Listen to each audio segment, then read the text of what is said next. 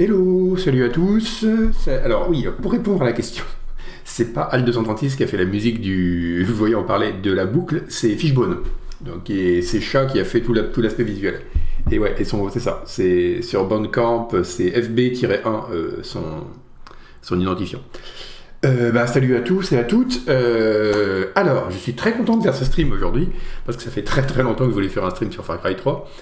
Euh, ça, ça, salut Face Mystics, pareil à chaque fois. Hein, euh, comme dirait euh, Gbou, hein, j'espère que ça va bien la famille, tout ça. On va faire des salutations, rapides parce que, en fait, j'ai un très gros problème. C'est que, qui est autre que le fait que je me sois fait couper les cheveux, c'est que Far Cry 3, c'est un jeu ouvert, c'est un jeu, même en le rushant comme une brute, je pense qu'il va falloir 15 heures pour en venir au bout. Et c'est un jeu qui a beaucoup d'éléments intéressant, ouais, meilleur épisode de la série, Pascal Brutal, mais c'est plus que meilleur épisode de la série, c'est euh, un épisode, enfin c'est un des meilleurs, pour moi c'est un des jeux les plus intéressants jamais sortis en fait.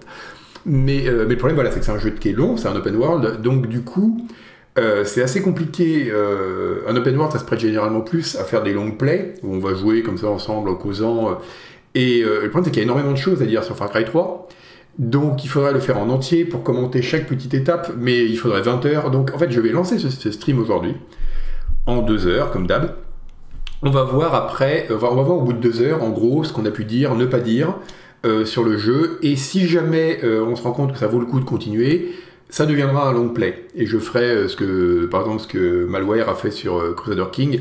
J'essaierai de faire un, truc en plusieurs étapes pour voir jusqu'où on peut pour essayer de faire tout le jeu. En fait, le problème, c'est aussi comme c'est un open world, c'est pas vraiment comme un jeu narratif, même long, hein, qu'on peut, enfin, on peut raconter les choses au fur et à mesure. Et là, il y a quand même beaucoup de temps mort. Il y a des moments où on fait du crafting. En plus, le crafting de Far Cry 3 est un peu chiant.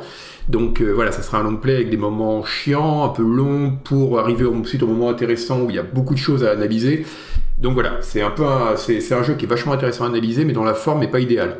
Donc, on va quand même lancer le truc, et on va commencer pour montrer que ça va pas être un long play comme les autres, et pour immédiatement euh, se faire striker sur YouTube, comme il y aura de la musique copyrightée, on va commencer par regarder le trailer du jeu. Un des trailers qui est sorti peu de temps avant la sortie, donc c'était à l'E3 2012, hein, le jeu est sorti, je sais même plus quand le jeu est sorti, je crois qu'il est sorti fin 2012.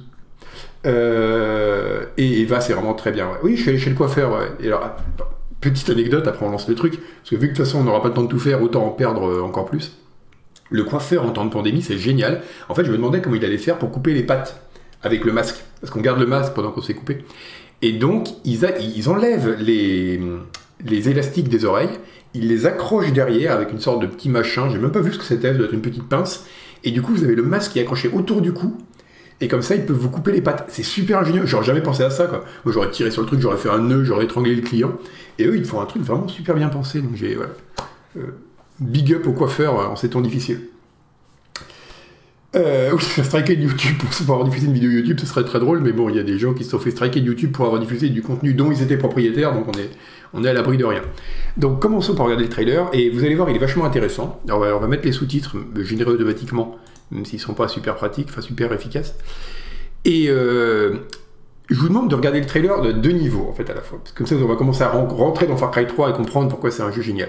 Regardez-le un premier niveau en vous disant ok c'est un trailer de jeu vidéo où on nous apprend qu'on va faire boum boum et regardez-le à un second niveau en même temps en essayant de vous dire que l'île qu'on vous présente en fait c'est le jeu vidéo lui-même. On, je vous retrouve dans deux minutes.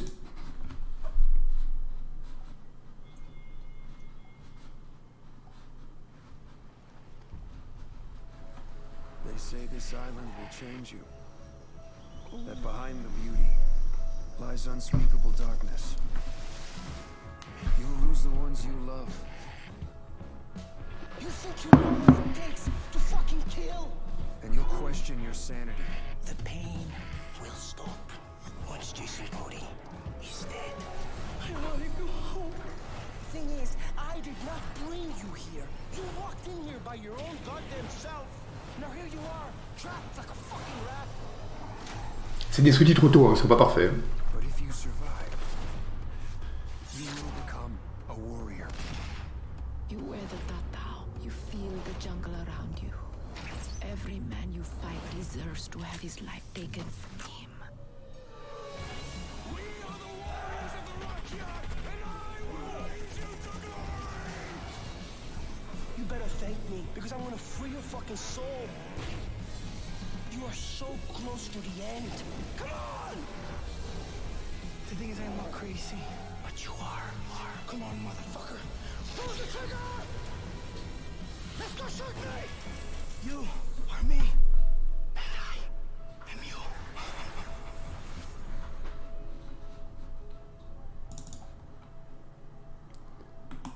Voilà, et sur ce, on va lancer le jeu lui-même. Donc, c'est, il y a un côté très Apocalypse Now, ouais, complètement. euh, il y a un côté Apocalypse Now, il y a un côté bon Fight Club pour le pour le lien entre le le héros et oui, c'est le switch auto-censure les fuck et motherfucker, c'est très rigolo. Il, j'avais pas fait gaffe, mais il coupait. euh, Et, euh, oui, mais alors, ce qui- est intéressant, euh, justement, c'est le jeu, et c'est amusant de dire que ça a évolué. Il y a euh,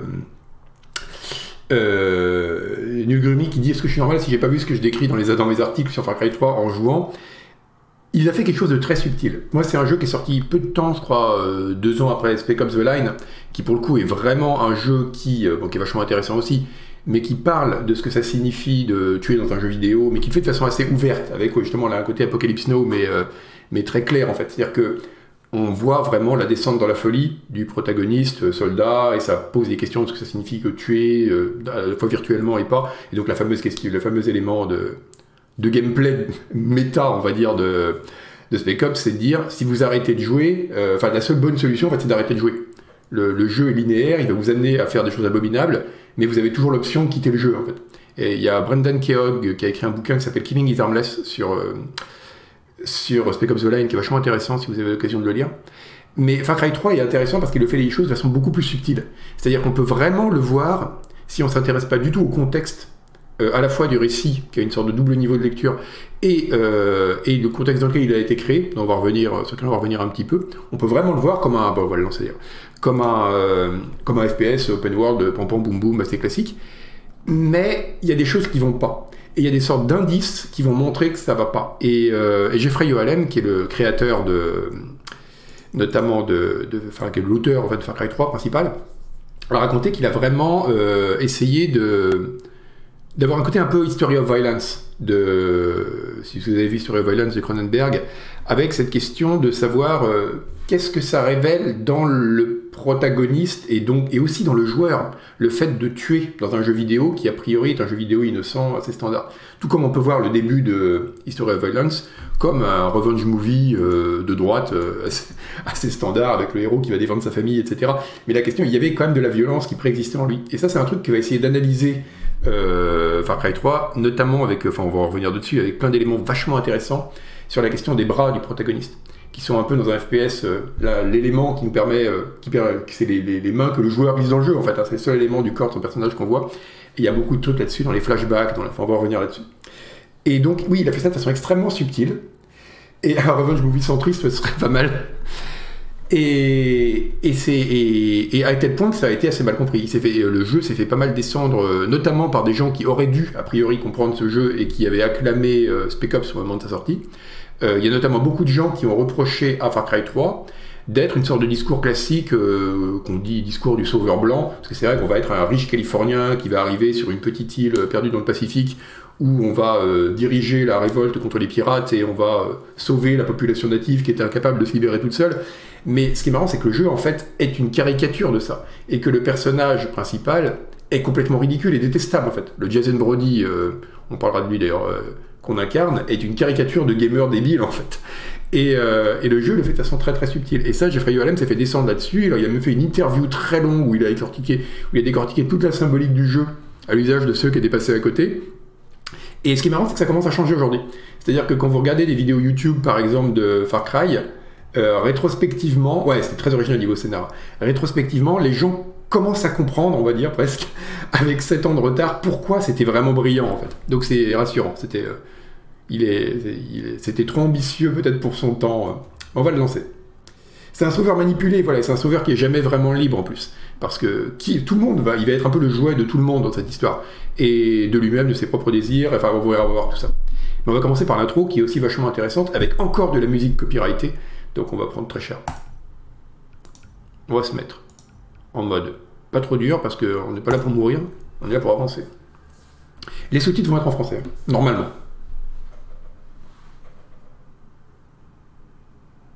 Oui, oui, bah, bah, on, va- parler un petit. Et le médecin, le- les personnages étaient géniaux.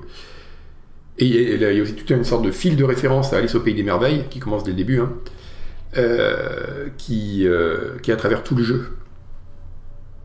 De voir comment. euh, la plongée dans le jeu et la plongée dans le. Voilà.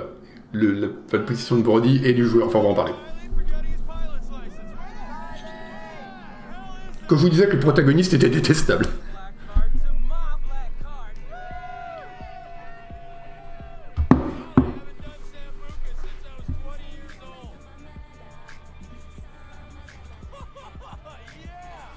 C'est cool les Kazor.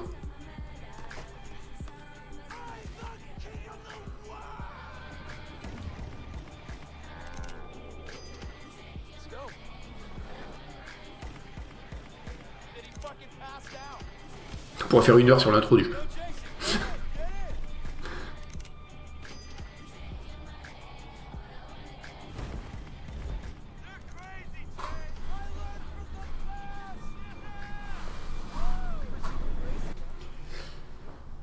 Ah, la musique, je sais plus comment elle s'appelle, c'est une rappeuse euh, anglaise vachement bien, euh, j'ai oublié son nom, mais quelqu'un va trouver dans le chat.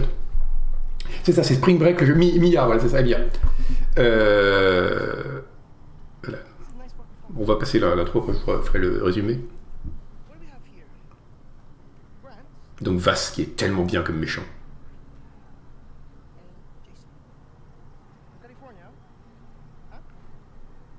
Si, c'est Missing in Action. Well, I hope your mama and your papa really, really love you. Because you two white boys, you look very expensive. And that's good because I like expensive things. I'm sorry, what did you say? What did you say? Do you want me to slice you open like I did your friend? Shut the fuck up! Okay? I'm the one with the fucking dick. Look at me. Look me in the fucking eye. Le son est faible. Ah, je vais vous monter le son là. On va passer l'intro, je vous monte le son après.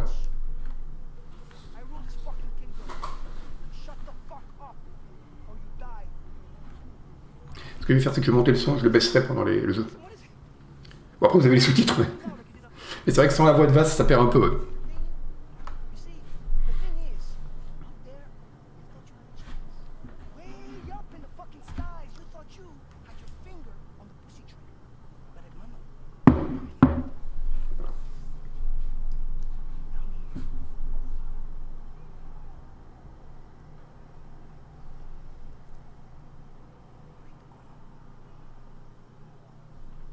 It's okay.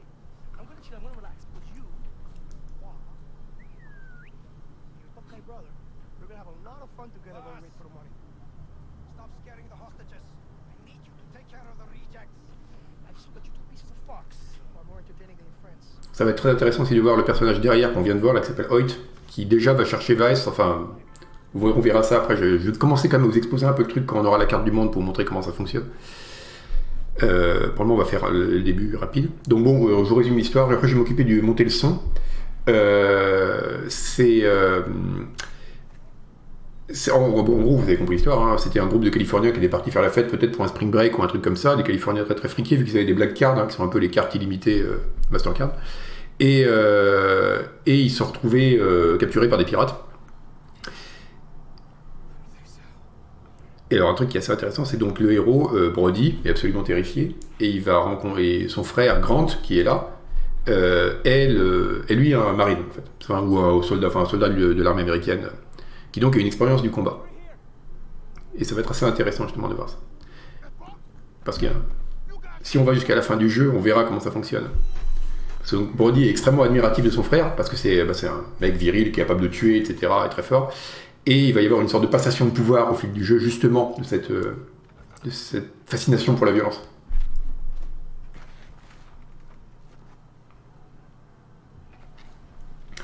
Et on n'entend rien du tout. euh, ouais. Alors je vais, essayer de, faire les niveaux, mais c'est un peu compliqué comme j'ai pas le retour euh, de ma voix par rapport aux. On va couper le truc, voilà, là on a premier checkpoint, on a lancé le jeu. Je vais monter le son ici. Normalement ça devrait être mieux pour vous. Voilà. Et là du coup, on devrait avoir un meilleur niveau. Après le problème c'est qu'on va commencer à avoir des coups de feu et tout ça. Ça va être un peu compliqué pour moi de parler dessus. Vous me dites c'est bon, sinon je fais les bruitages à la bouche, toi. Donc on a un tuto et c'est en gros euh, Grant qui sert de tuto. Et, euh, c'est quelque chose quand j'avais rencontré Dan Hay, donc le producteur du jeu, quand j'étais euh, euh, un peu un lancement à Montréal.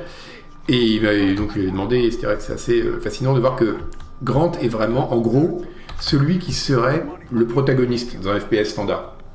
Or là, c'est pas ce protagoniste-là qu'on va incarner justement. Vous allez voir, ça va être intéressant à la fin du tuto, notamment. Alors, regardez quelques petits. Bon, là, c'est un tuto tout bête. hein, On apprend à éviter les ennemis. euh, c'est pas méga intéressant. Sauf qu'il y a des cochons, ça c'est cool.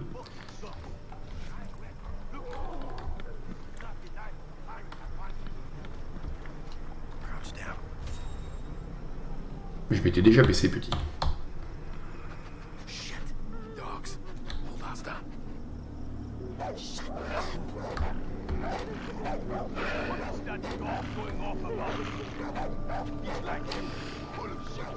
Et on va déjà avoir des éléments qui sont. euh, Alors, le problème, c'est que je ne l'ai pas, l'ai relancé depuis 5 ans, hein, mais c'est marrant, je me souviens encore de quelques passages. Notamment, euh, notamment ici, dans le. On va commencer à avoir des éléments intéressants euh, qui vont revenir après. hein. Notamment tous les éléments qui ont été piqués. Enfin, la présence donc, des valises, des, passeports qui ont été piqués et, euh, et ce personnage qui va avoir un rôle extrêmement intéressant. Et on en parlera un petit peu d'elle, donc euh, there.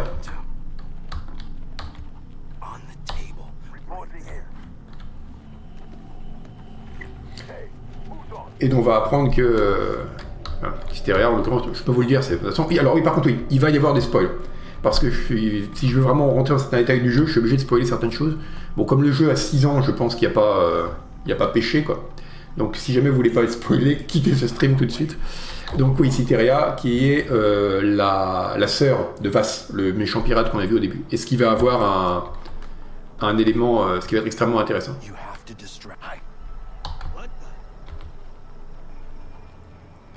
Bah, il l'a pas jeté le caillou You got your gun? Hey. Ah, si, c'est bon, il va là-bas.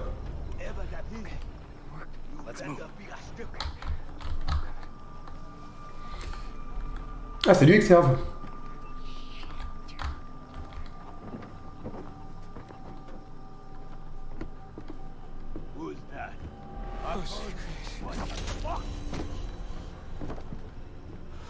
Holy shit. Oh god, I can't do this, Grant. Jay, Jay, Jay, Jay, look at me. I can't find Lisa and Riley and the others without you. So pull it together. Ah oui, merci pour ton raid Merci pour ton raid, Exerve, j'avais même pas vu Qu'est-ce que me choque dit que j'avais rien grillé Ouais, non, mais excusez-moi parce que je suis tellement, je suis à fond dedans là. C'est un tutoriel tellement intense.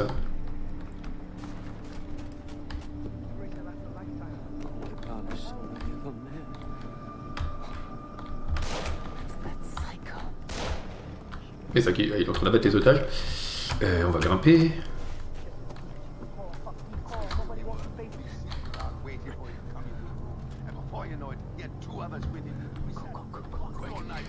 Ah, le nom de l'acteur de Vass, je sais plus.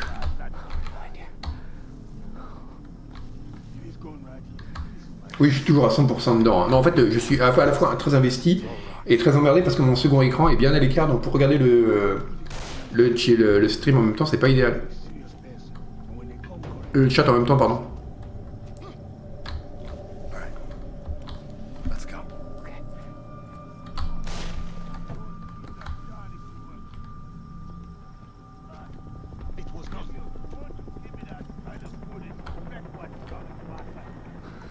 C'est quand même des pirates à très gros budget. hein. Ils ont des hélicoptères. euh, Ils ont pas juste trois calaches et, un- et des poules.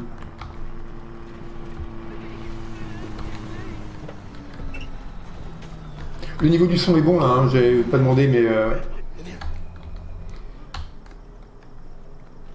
Ah oui justement, bah, peut-être justement pendant l'intro, avant que ça devienne intéressant.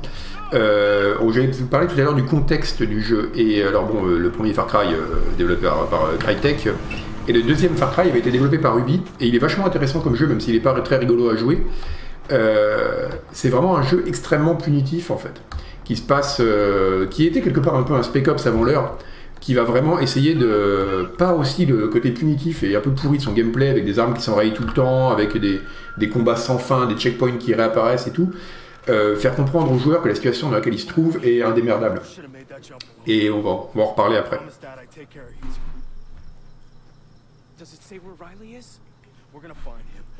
Parce que donc la question c'est aussi de retrouver le petit frère Riley et la copine du héros. Ah voilà. Donc Grant se fait tuer.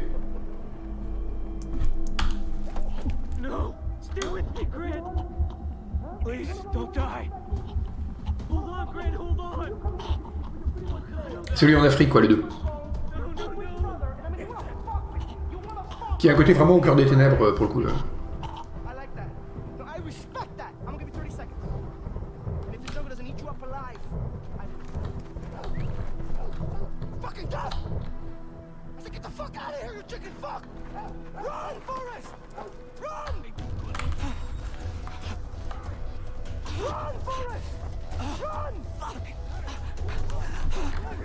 Et ce qui est très marrant, c'est que justement, Vass va laisser une chance au héros de s'échapper.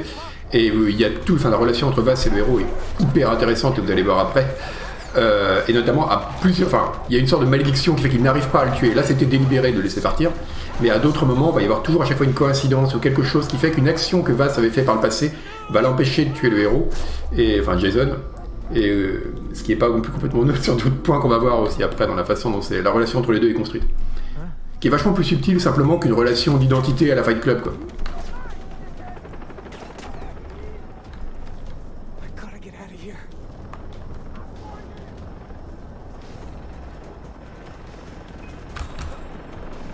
Ça a pas trop mal vieilli d'un point de vue technique. hein. Même les lumières avec l'hélico et tout, c'est chouette.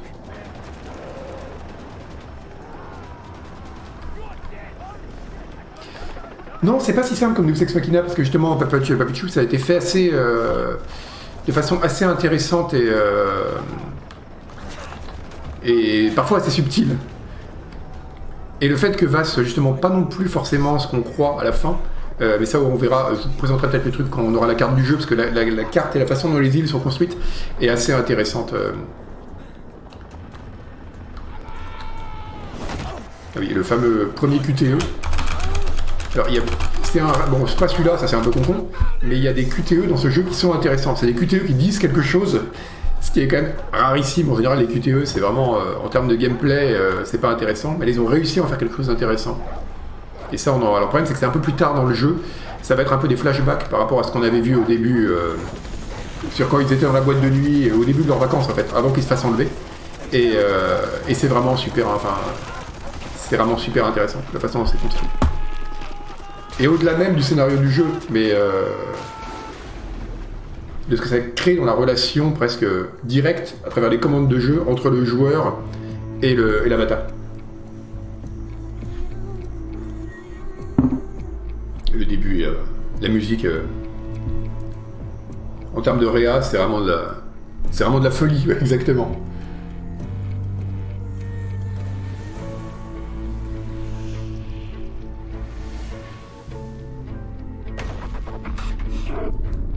Et donc oui, pour revenir sur Far Cry 2, alors parce qu'après on va encore avoir le, peut-être, on va attendre d'être sorti complètement du village. Bon évidemment il y a toute le, il y a toute la question aussi de, il y a, énormément de figures assez, assez classiques de la Renaissance et un rapport à l'eau aussi qui est assez, bon il y a pas mal de symboliques avec des gros sabots, hein, mais c'est rigolo quand même, avec ce côté. Il est tombé, là il est tombé dans l'eau, il va ressortir, il est repêché, et là ça va devenir un grand guerrier alors qu'avant c'était une, une lopette. euh. C'est bourré de références à Apocalypse Now aussi. Ou au cœur des ténèbres selon.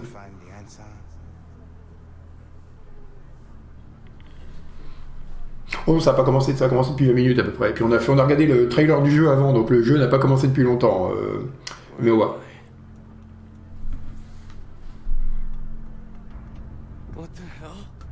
Ah, et donc je répète, il va y avoir des spoilers, il va y avoir notamment après ça, je vais vous faire quand même un gros spoiler, mais je suis désolé, c'est intéressant hein, pour comprendre, parce que le fait de savoir, c'est comme si vous regardez Fight Club en sachant déjà euh, qui est Taylor Jordan, ça permet de voir directement le film d'une autre façon dès le début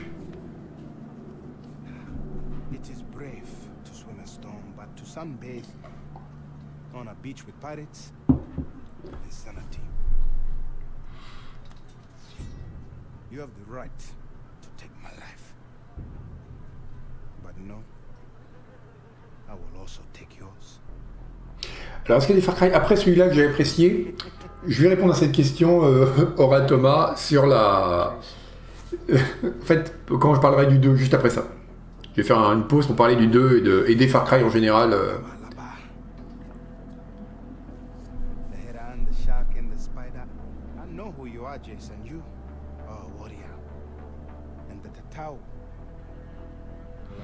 Donc il y a la question du tatouage qui va jouer un rôle énorme, puisque ça va être un peu l'arbre de skill du personnage. Donc selon qu'on choisisse des, euh, capacités d'infiltration, de combat, etc. Comme dans la plupart des FPS avec une dimension un peu skills ou roleplay. Ça va s'inscrire sur le bras du personnage au fur et à mesure. Et c'est intéressant parce que du coup, ce tatouage qui représente un peu sa, sa transformation en guerrier va petit à petit progresser et on l'aura toujours devant les yeux en fait, puisque c'est les, bras du personnage, c'est ceux qu'on voit. Et on va, quand on arrivera au QTE dont je vous parlais tout à l'heure, vous allez voir l'intérêt des bras, euh, notamment de la visibilité des bras et comment ils sont, ce qu'ils signifient. Et euh, ce qui est intéressant, c'est qu'à la fin du jeu, le tatouage va repartir dans l'autre sens et le bras du personnage va repartir dans l'autre sens aussi, avec des mutilations. Et ça, c'est assez intéressant. Quand il va sortir de son délire, parce que petit à petit, forcément, Jason va s'enfoncer dans le délire et finir vraiment par se prendre pour un grand guerrier, euh, comme le joueur jouant au jeu d'ailleurs. Alors, ce qui alors là, la tribu qui a, qui a sauvé euh, Jason, c'est les Rakyat. Et Rakyat, donc c'est un terme indonésien qui signifie peuple. hein. Donc en fait, c'est le peuple. Donc ça, ce qui fait qu'en gros, ça ne signifie rien. C'est complètement ridicule. Et, euh, et ce qui est amusant, c'est que de façon très subtile, dès le début, on s'aperçoit qu'il y a un truc qui va pas là-dedans. C'est-à-dire que on n'est pas. euh, Il y a des choses qui ne vont pas, qui montrent que c'est pas du tout, enfin que ça, ne ressemble pas vraiment à un village euh, tribal ou quoi que ce soit. C'est une sorte de, il y a des éléments épars qui partent un peu dans tous les sens. Et notamment, spoiler encore une fois, je vais pas les faire à chaque fois. Denis, donc le personnage qui va être un peu notre mentor là, qu'on voit là, va être, on s'apercevra petit à petit qu'en fait, c'est pas du tout un natif de l'île, mais que c'est euh, un Américain euh, qui s'est retrouvé là-bas, et en gros, il a suivi exactement le même parcours que Jason. C'est quelqu'un qui était quelqu'un, un occidental en fait, et qui, petit, qui s'est euh, ensauvagé et a joué à cette espèce de jeu de, guerrier dans ce village. Tu t'es vu qu'en tribu quand j'étais très bien. Alors, et alors, on va juste aller acheter une arme. Donc là aussi, c'est une vieille dame qui vend des armes. Il y a plein de petits éléments comme ça qui sont complètement incohérents. hein. Euh, bon, on va s'acheter un colt. Allez, c'est parti. De toute façon, on peut acheter que ça au début, je crois.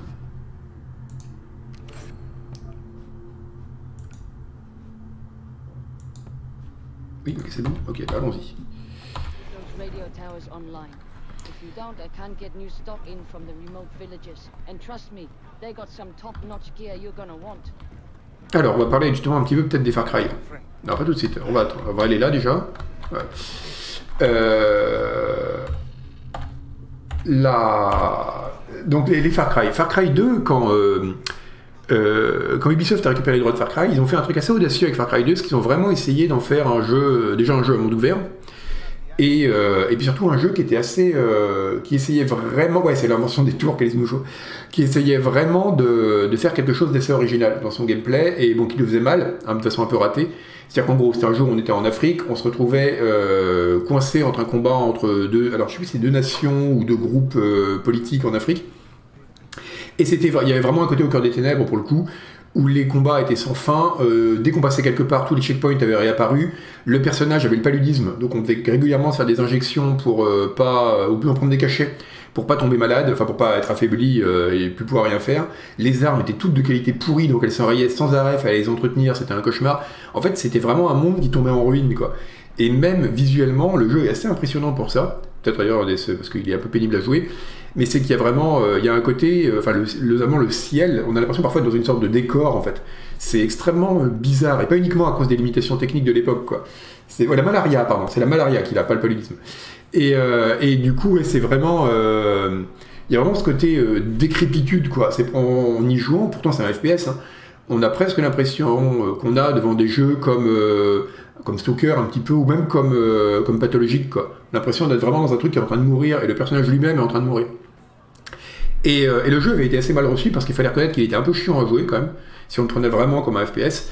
Et euh, notamment Dan Hay et Jeffrey ULM, donc le producteur et, euh, l'auteur de Far Cry 3, avaient dit, quand ils ont créé Far Cry 3, euh, c'est ULM l'avait dit texto, je pense qu'on peut dire la même chose que dans Far Cry 2, tout en faisant un jeu amusant à jouer. Et c'est un peu ce qu'ils ont essayé de faire avec Far Cry 3. Et ensuite, pour répondre à la question sur les Far Cry qu'il y a eu après, euh, alors je parle pas du premier Far Cry, parce que pour moi le premier Far Cry il est un peu différent. C'est-à-dire que c'est vraiment un jeu qui était, enfin déjà il n'a pas été fait par Ubi, c'était euh, fait par Crytek avant que Ubi récupère la licence. Et, euh, pour moi, c'est, un, jeu qui est hyper intéressant d'un point de vue euh, technique, euh, même d'un point de vue artistique, parce que c'est quand même le jeu qui a fait sortir les FPS des, couloirs marrons à l'époque. Mais, euh, mais c'était pas un, c'était pas un jeu qui avait la même, qui s'inscrivait pour moi dans la même continuité que les Far Cry.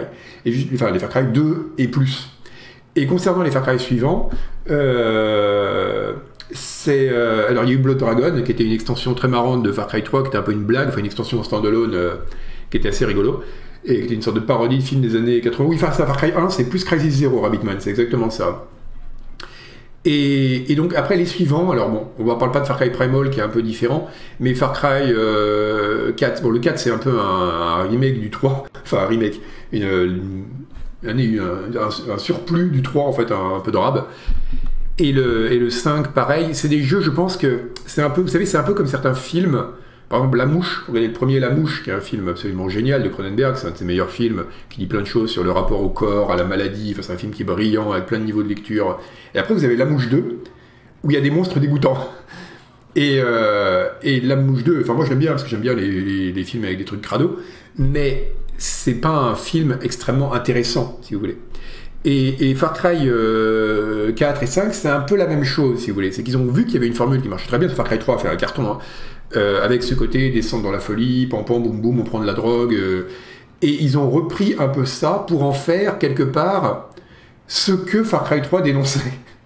C'est-à-dire qu'ils ont retiré le discours politique, notamment Far, Far Cry 5, donc qui se passe au- aux États-Unis, qui, qui est un scandale, parce qu'ils avaient vraiment l'occasion du coup de faire un, jeu qui interrogeait le rapport à la violence des États-Unis, euh, notamment par rapport à la question raciale, par rapport à la question de la liberté tout ça, et ils l'ont fait de façon ultra superficielle avec des personnages caricaturaux. Enfin, c'est un scandale ce jeu. Et donc voilà, ils ont un peu, euh, c'est un peu des versions édulcorées en fait, qui ont repris uniquement une esthétique sans comprendre ce qui motivait cette esthétique. Voilà. C'est un peu, après c'est mon avis, hein, mais c'est un peu ce que j'ai ressenti en jouant au Far Cry euh, 4-5. J'ai bien aimé Far Cry Primal, mais euh, parce qu'il est, pas forcément un très bon jeu, mais il est rigolo et au moins c'est original. Far Cry 5, il aurait pu être brillant s'il avait été bien écrit, mais en tout cas, il y avait le potentiel dans le fait de transposer, parce que les Far Cry ont tous quand même eu toujours cette espèce de côté, euh, notamment depuis le 2. euh, Qu'est-ce que la violence, quoi C'est des FPS un peu conscients d'eux-mêmes. Et le fait de transposer ça aux États-Unis, avec l'histoire de milices et tout, on voit ça dans le contexte actuel avec les, mouvements euh, antifédéraux euh, face au coronavirus et tout, ça aurait été hyper intéressant. Quoi. Il, y avait, énormément de, possibilités, mais malheureusement, euh, mais Ubi a reculé, ouais. Ouais, alors, il y a ces trucs-là sur Kevin Mouchou, sur Far Cry 5 qui devaient être beaucoup plus politiques. Je sais pas à quel point c'est vrai. Euh, je pense qu'ils sont un peu pris les pieds dans le tapis. Après, bon, Ubisoft a un, côté très compliqué. Bon, on a vu ça avec euh, The Division, hein, à dire non, nos jeux sont pas politiques. euh, alors, c'est même pas question de faire des jeux militants. C'est juste une question de représenter la réalité du monde dans un jeu. Et quand ils ont fait un jeu, notamment Far Cry 5, qui montrait des milices américaines, mais qu'ils ont bien fait attention, on voulait même dire dès les premiers trailers, hein, que ces milices soient euh, multiraciales, hein. des milices euh, avec des noirs et des blancs en proportion euh, raisonnable, c'est ridicule parce que c'est nier la composante raciale qu'il y a dans ces milices-là, dans, l'imaginaire milicien aux États-Unis.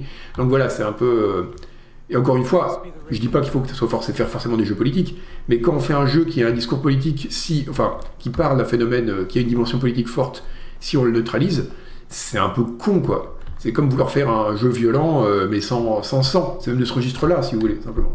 C'est con, on fait ce qu'on veut, mais il faut le faire à fond, quoi. Et du coup, il est un peu lâche, Far Cry 5, quoi. Donc, la première euh, tour, bon là, le début est pas méga intéressant, c'est juste qu'on va avoir notre initiation de guerrier euh, à pans. Ouah, j'ai tué un serpent. Alors, donc c'est le premier jeu qui a des euh, tours radio, hein, qui donne accès à de nouveaux éléments. euh. Donc, faut reconnaître qu'à l'époque, c'était encore à peu près original, c'était pas encore devenu un gimmick insupportable de Ubi.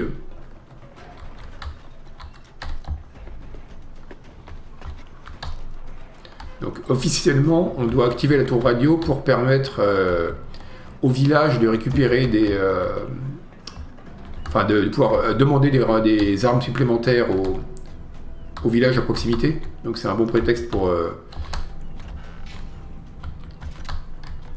pour donner un, vague... un vague scénario... Oui, alors du vomi, c'est vrai qu'il y a un truc qui est très chiant dans Far Cry, mais c'est à peu vrai dans tous les Far Cry. hein. C'est que le monde est beaucoup trop peuplé. C'est un peu le syndrome euh, Skyrim. C'est qu'on peut pas faire un pas sans se faire. euh, Ah Alors j'avais oublié qu'il fallait appuyer sur E pour s'accrocher dans celui-là. Dans les suivants, c'est automatique. Euh... Et c'est la mort. Ah putain, on va devoir se retaper la tour. Donc ouais, le... Ouais, dans ça, dans les suivants, c'est automatique. Dès qu'on saute, on... on, sait, on accroche les, les câbles, mais là, il faut appuyer sur E. Magnifique.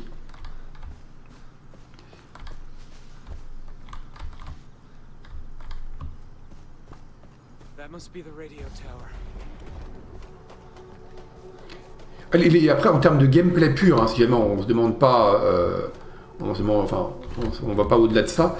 euh, oui, Far Cry 3 est pas le meilleur. De ce point de vue-là, le, le 5 et le, le 4, pas trop, c'est un peu le même.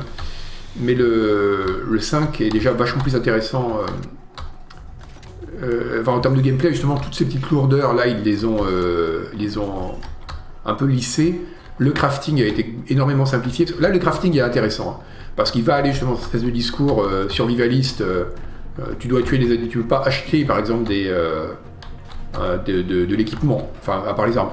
Tu dois le fabriquer toi-même en allant chasser dans la jungle. Enfin, il y a toute cette espèce de discours qui est pas mal. Mais en termes de gameplay, euh, c'est euh, c'est ultra pénible parce que c'est on passe son temps à chasser des machins euh, et il faut ramasser des pots de phoques pour faire pas des phoques mais de- des pots de sanglier pour fabriquer des gilets pare-balles. Enfin c'est casse-couille.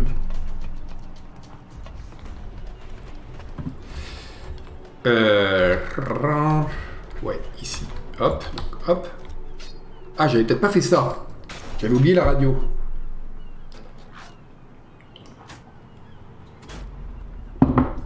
voilà Ouais, le farm dans le jeu est imbitable, euh. C'est vraiment un truc. euh. Le 2 était pas si nul, euh, Ingénieur Fraps. C'était, euh, il était, c'était un jeu qui était intéressant comme expérience, comme dirait Manu, mais en termes de jeu pur, c'était pas le plus intéressant qu'on ait connu. ouais. Alors du coup, est-ce que je peux m'accrocher? Oui, je peux. Ah non, bah donc c'est bien Space. C'est juste que j'avais pas activé la radio, en effet.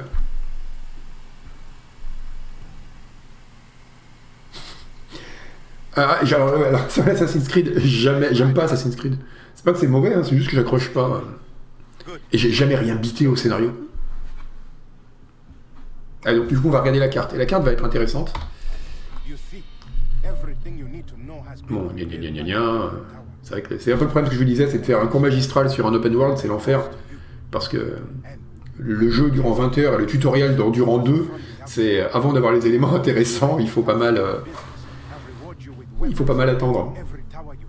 Mais personne n'a jamais compris le scénario de Assassin's Creed.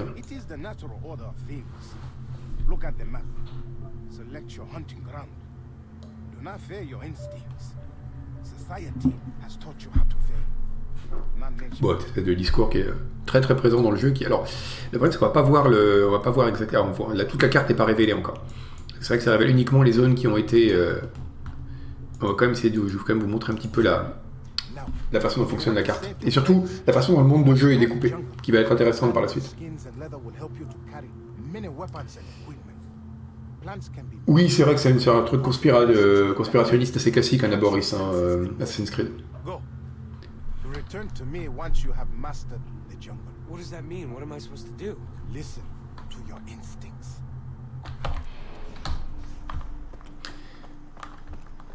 Est-ce qu'elle fonctionne? Oui, elle fonctionne. C'est une vraie voiture. Alors, on va aller chasser des sangliers. Justement, bon, alors on va essayer de, de zapper le tuto assez rapidement. euh, parce que c'est pas. Ah, mais il n'y avait même pas de GPS dans celui-là qui m'indiquait où aller. Ah, c'était beaucoup plus roots que, que dans les suivants. Et, euh, et va, vachement intéressant comme personnage, mais pareil, le problème c'est qu'on va pas pouvoir. euh, notre première confrontation avec Vas va être dans un petit moment, et c'est con parce qu'elle est, elle est vachement intéressante aussi. Euh, ils sont où les sangliers? C'est là? Ouais, c'est bon, on finira à pied.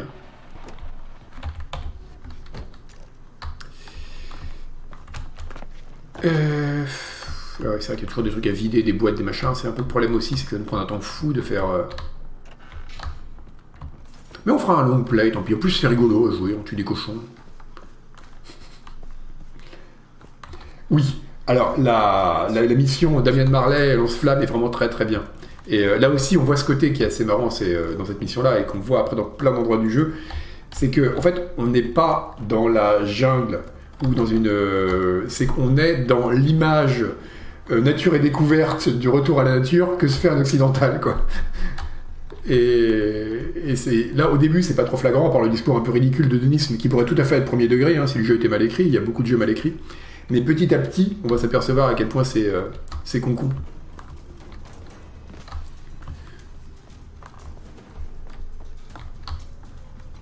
Ah oui, alors on doit tuer des... Ah non, c'est vrai qu'on doit récupérer, on récupère aussi des plantes pour fabriquer des trucs. C'est Colanta. Hein. D'ailleurs, ça veut... Finalement, c'est Colanta militarisé, hein, parce que c'est un peu le même discours.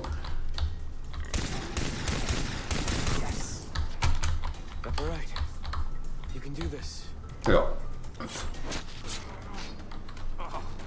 Hey, malware Alors, il me faut un deuxième cochon.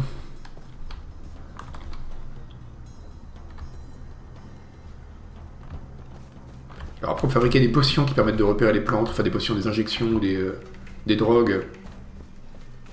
Là, la, question de la drogue, et ça, ça va venir très vite et vachement et intéressant aussi. Dans celui-là notamment. Parce qu'ils n'ont pas uniquement, euh, pas uniquement fait un, ga- un, ga- un gadget un peu edgy quoi, mais euh, la consommation de drogue du personnage et par des hallucinogènes qu'il va rencontrer dans le monde et qui vont petit à petit faire que le monde va devenir de plus en plus incohérent. Là pour le coup c'est très très Apocalypse ouais. Euh, et vraiment pas mal foutu. Alors des plantes. Euh, alors les plantes bleues elles sont sous l'eau si je me souviens bien. Ouais. Hop, et de une.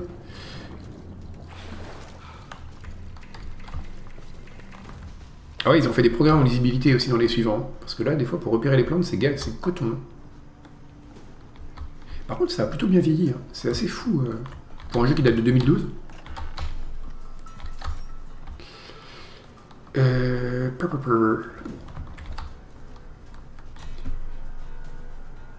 Ouais, elle a, elle a tué un sanglier avec le pistolet. ouais. Après, j'ai rien d'autre. hein. Enfin, j'ai un- Et après, on peut, tuer- on peut chasser au lance-grenade aussi. Enfin. euh. Et ça aussi, c'est un truc qui est assez euh, fantastique dans le jeu, mais ça, on va revenir dessus après. Non, mais on a assez de peau. Bon, tant pis, on l'aura. Oui, c'est vrai qu'on peut taguer les animaux quand on les, quand on les regarde. On s'offre une peau en plus.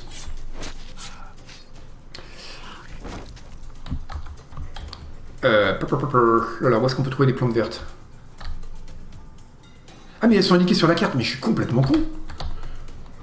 Depuis tout à l'heure, je suis ah oui, il doit y avoir un indice dans le monde ou un truc. Ah, mais ça va aller beaucoup plus vite.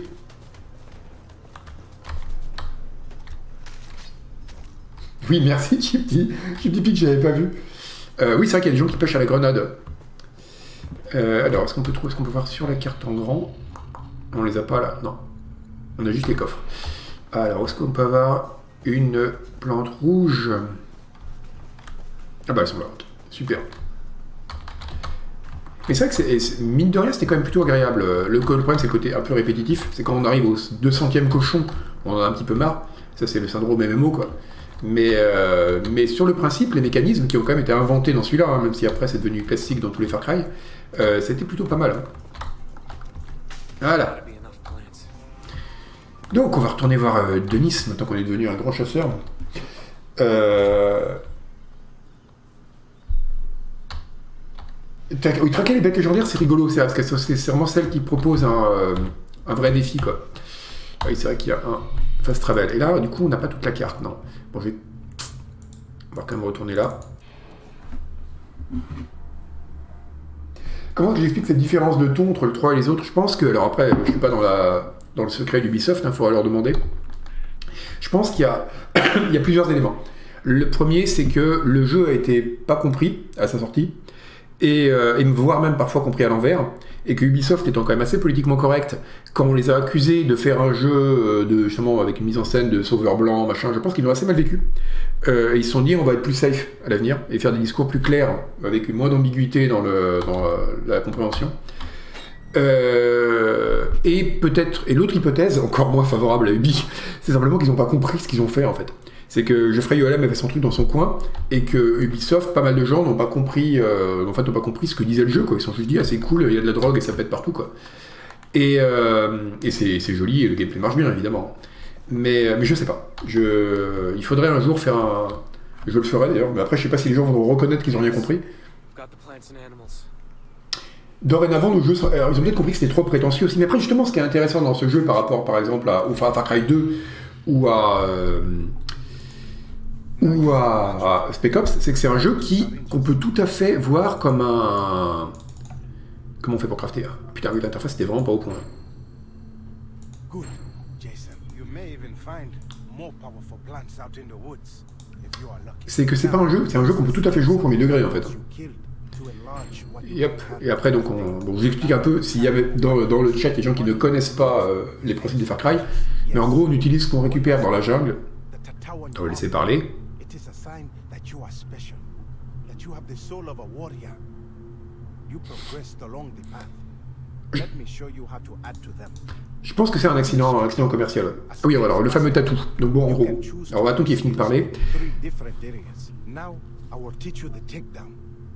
Mais, euh, mais ouais, donc en gros, je vous explique très vite le principe.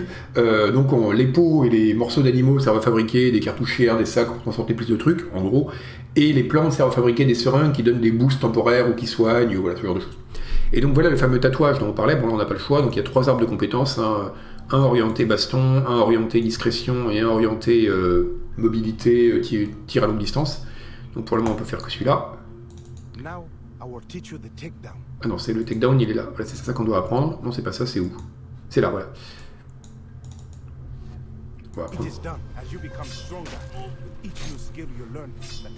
Donc c'est pour apprendre à faire des kill moves, ça. On doit en choisir un autre. Euh, alors, euh, le fait de pouvoir garder des grenades dans la main, peut pas l'acheter immédiatement, ou le slide. Euh, tiens, on va faire le slide, c'est pratique en termes de mobilité. Jason. Et donc voilà, il y a cette mise en scène du tatouage qui est faite à chaque fois avec le bras, et on voit le tatouage qui s'agrandit. hein. Oui, le, le problème de Spec Ops, c'est que bah, c'est un peu le même problème que Far Cry 2, c'est qu'ils ont... Ah oui, on va, on va devoir... li- Ah oui, Lisa, c'est sa copine. Il y a deux personnes qui doivent chercher, c'est son petit frère qui s'appelle... euh, Putain, j'ai oublié son nom. Euh... Merde. Bref. Et sa, sa copine euh, Lisa. Et, euh, et notamment avec le côté... Alors là, c'est aussi marrant parce qu'il y a un côté très damsel in distress hein, dans le fait qu'on va sauver la fille. Mais ce qui est assez rigolo, c'est ce qu'on va voir après dans le jeu, c'est que vous petit à petit, il va donc sauver ses amis capturés par les pirates. Il va les regrouper dans une grotte où ils vont. Et ce qui est amusant, c'est qu'au fur et à mesure, le discours de ses amis quand il va venir les voir va évoluer. Et au début, ils vont être là, Ah, merci de nous avoir sauvés, bon, normal quoi, quand est-ce qu'on rentre aux États-Unis? Et petit à petit, Jason, commençant à, ou continuant à tuer pour le plaisir, en fait, quelque part, ils vont lui dire, mais t'es devenu complètement fou, mais qu'est-ce qui t'arrive, je te reconnais plus. euh. Et notamment Jason, enfin, c'est assez impressionnant certains dialogues dans le jeu, qui dit, mais enfin, c'est la première fois de ma vie que j'ai l'impression de savoir faire quelque chose, euh, et, c'est assez intéressant de voir. Et notamment sa copine qui va jouer quelque part presque le rôle caricatural euh, et un peu misogyne pour le coup de la copine de gamer qui dit non mais arrête tes délires, euh, occupe-toi de moi quoi. Et, et lui qui est dans son délire de dire non j'ai envie de tuer des gens c'est rigolo et c'est très très marrant, marrant la façon dont c'est fait. De voir comment petit à petit la tuerie, à l'origine il veut sauver ses amis et à la fin le fait de tuer va devenir une fin en soi. Jusqu'au moment où, encore une fois spoiler, je ai dit on n'est plus, euh, on plus à ça près, il va quasiment devenir remplacer Vass au sein de l'organisation de Hoyt, qui est le grand grand méchant, et va devenir lui-même un des PNJ du jeu, puisqu'il va aller jusqu'à revêtir l'uniforme des ennemis qui combat. Enfin, vous verrez. Mais il va être intégré dans le jeu. Et à un moment, il va y avoir un choc dont on va parler parce qu'il est hyper intéressant aussi en termes de mise en scène, qui fait que non, il va se dire non, je ne peux pas aller jusque-là, je suis en train de m'enfoncer dans la folie. Et il va repartir dans l'autre sens, euh, vers le monde réel, vers sa copine, avec le choix finalement à la fin de dire est-ce que je reste dans le délire ou est-ce que je en sors? Et, euh, et, enfin, et avec, euh, et notamment, il va y avoir un choc très très intéressant. Et cette question du tatouage et du bras, enfin, on va parler beaucoup des bras si on arrive jusqu'au flashback, ce qui va être difficile vu que j'arrête pas de parler, qui vont repartir dans l'autre sens en fait. Et le joueur et le avatar vont sortir du jeu. Donc il faut nettoyer un camp, ça aussi c'est une, une- une mécanique qui a été inventée par, euh, à ce niveau-là. Non, il y avait ça dans Far Cry 2 déjà. Les fameux camps à nettoyer, qui sont très très cool, hein, parce qu'on peut avoir un peu l'approche qu'on veut. On peut ou y aller à la bourrin, ce que je vais faire parce que je suis nul, à la, à la usual, comme on dit maintenant. Ou alors... euh, Attends, c'est bien ça, faut tuer le camp. hein. Euh, Ouais, ça doit être ça. Ou alors on peut y aller, essayer d'y aller discrètement. Ah, ils sont là, ok.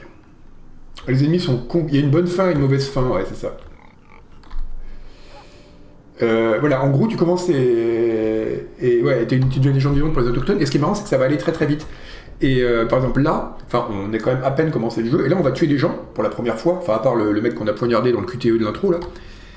Et, euh, et ça a posé aucun problème moral à Jason.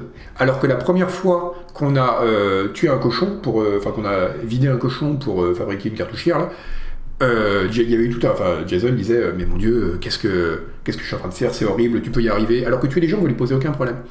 Et, et ça, du coup, je m'étais pas vraiment posé la question, je me suis dit, c'est marrant. Et donc, c'est quand j'ai vu une des interviews de Jeffrey O'Halem, il a dit, c'est quand même extrêmement intéressant, de ce point de vue-là, de créer un jeu dans lequel tuer un humain est quelque chose d'extrêmement banal, alors que tuer un animal, on le voit, on le verra notamment après pour les animaux rares, choses comme ça, représente toujours une forme de défi et parfois souvent plus difficile même, à la fois pour le joueur et euh, coucou et et, et en termes de difficulté aussi dans le jeu euh, et en termes de mise en scène aussi. hein. C'est c'est- on- c'est vraiment difficile de, de vider un animal, de le tuer, alors que les humains on les exécute à la chaîne. Et de plus en plus, au fur et à mesure qu'on débloque des euh, merde, il m'a vu, non c'est bon. Et les deux fins sont euh, et les, les deux fins sont assez. Oui, le cochon lui a rien fait. Et ça, c'est assez marrant. euh, Oh, mais j'ai pas besoin de gun, moi. Moi, je fais tout à la. à la discrète. Après, les ennemis sont pas des lumières. hein. oh putain, l'approche de merde. Merde. Bon, bon, on va faire une visuelle. Hein. Ah putain, il y a un cochon. Euh, Il y a un cochon. Y a un... Tous les animaux sont des cochons maintenant. Ah, j'ai plus de munitions, fait chier. Ça ne devait pas finir comme ça. Faut que j'aille récupérer une calache sur un mec. Putain, je vais déjà crever. Ah putain. Non, ramasse la calache. Ah putain, mais je suis nul à chier. En fait, je connais plus les touches. Bon, c'est pas grave. Heureusement, on a des soins. Euh... Attends, on va aller se planquer. On va prendre, on va prendre le gun de l'autre côté, comme tu disais.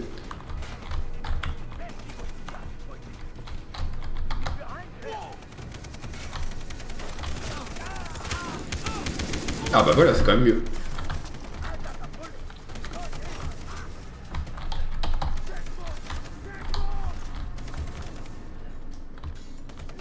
Où il est Ah mais il se tire dessus Ah mais d'accord, il y a mes potes qui arrivaient. Ah t'as vu un skill magnifique hein. On dirait un stream d'un coup. Ah mais le, pro gaming c'est un peu la base du canard PC. hein. Non je vous dis, il n'y a que Doom. hein. Doom je peux vraiment me la péter, mais n'importe quel autre jeu sur Terre, je suis nul à chier quoi. Même des CS, je suis mauvais. Hein.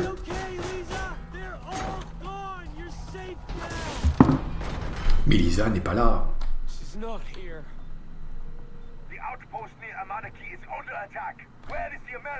her. What? He escaped on the west side of the front. Ah oui, je suis meilleur à Doom, oui. Euh, Tomb Raider, le crescendo, justement, la question de...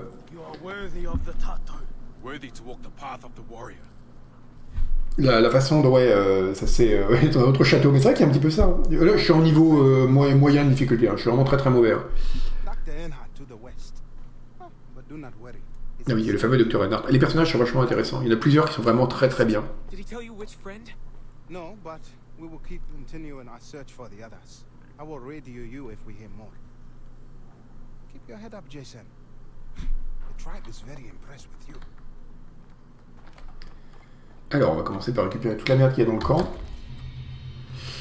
Euh, alors, quelle heure il est? Ouais, alors, c'est bon. Oh, mais on a, on a le temps, c'est cool, on va pouvoir avancer. Par contre, pourquoi ça s'est fermé, là? Il y avait des merdes à récupérer dedans. Ah bah bravo, belle mentalité. Euh, bon, on va quand même récupérer quelques trucs, même si on est censé faire un...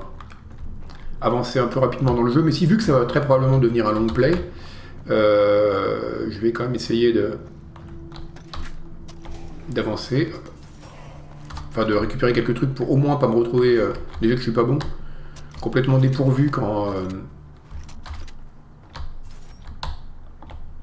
quand j'aurai euh, si jamais j'avance sans récupérer de matériel. Ok, alors euh, on va aller directement au truc suivant. Après, on prendra un peu le temps de crafter. euh. Ouais, dans les FPS nerveux aussi, on a pas mal, mais plutôt des jeux indés, hein, des jeux comme bah, récemment, il y a eu Dusk, il y a eu Amityville qui était vraiment, qui est vraiment bien. Alors, où est-ce qu'on doit aller? On doit aller. Ah oui, c'est loin, non? Ah oui, c'est là, ok. C'est la maison du docteur Reinhardt. Ok. Et ben, on va y aller. Et on fera une petite tour radio sur le chemin. Pour être vraiment dans l'ambiance Ubisoft. Putain, qu'est-ce qu'ils prennent dans ce stream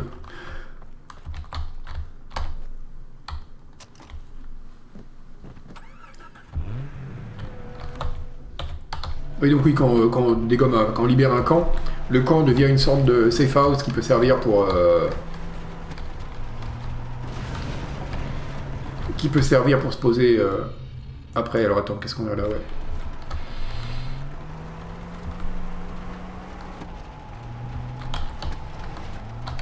C'est ah oui, c'est qu'il y a des courses de bagnole, enfin, il y a tout un tas de. Ce qui est aussi assez marrant. hein. Donc on peut s'arrêter à tout moment. Bon après là c'est euh, c'est la question de savoir est-ce que c'était vraiment euh, dans, quelle, dans quelle mesure c'est un élément de gameplay euh, qu'ils ont rajouté parce que c'était rigolo et dans quelle mesure l'absurdité du truc fait partie d'un du propos du jeu en lui-même. Ça c'est assez compliqué de trancher. Il faut pas non plus donner euh, être trop bienveillant par défaut avec euh, Geoffrey Yoalem. Mais cela dit c'est assez rigolo. C'est quand donc je crois que j'avais pas fini d'en parler. Euh, quand il avait fait le jeu, enfin quand il avait, euh, quand il avait expliqué un peu ce qu'il avait voulu faire dans le jeu là, avec dans des interviews après la sortie, il avait expliqué qu'il avait euh, que justement ce qu'il voulait c'était faire un jeu dont le, le propos coïncide parfaitement, euh, y compris dans ses aspects euh, ridicules notamment, avec le avec le gameplay, ce qui est d'ailleurs pas le cas dans la plupart des jeux. Et euh, avec notamment ce qu'on appelle la dissociation euh, ludonarrative.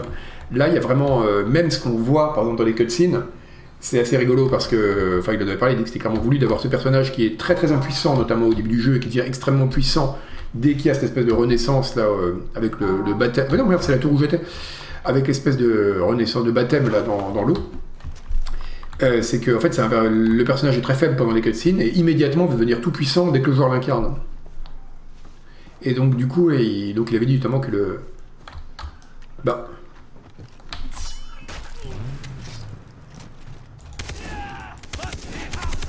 Putain, c'est costaud. Merde. Euh, parce que je suis complètement con, c'est pour ça que je retourne sur la même tour radio pizzeria. Je pensais que comme elle était sur la sur la carte. Bon, on va aller par là. hop. Ah, on a même une petite euh, danseuse. Euh, donc, bah, on va aller directement là. Hop.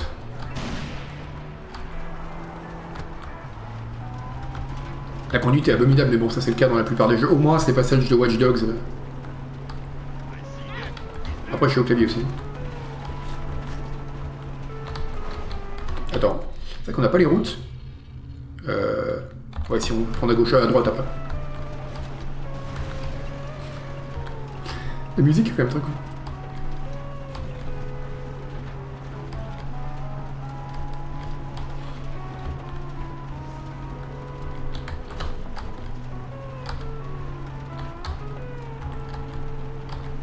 Oui, c'est un des meilleurs standalone euh, Ferdi, ouais, euh, euh, Blood Dragon, qui est absolument fantastique. C'était assez punitif comme fois. De ne pas avoir la carte euh, dans les zones où on n'a pas dégommé les tours radio, c'était... euh, Parce que là, du coup, on n'a plus du tout d'automap, quoi. On, on peut même pas la révéler en, avançant. hein. Mais le monde est assez bien foutu. Par exemple, là, on voit clairement, même si on n'a pas de GPS et qu'il n'y a pas, on n'a pas de carte, on voit où va se trouver la baraque du docteur euh, Ennert parce qu'on a, on la voit là en route sur la corniche, là où il y a le marqueur. Et, euh, ça, bon, faut reconnaître, c'est un truc que Ubisoft sait faire, c'est euh, créer des géographies. hein. Et qui sont très lisibles et vachement bien pensées. hein.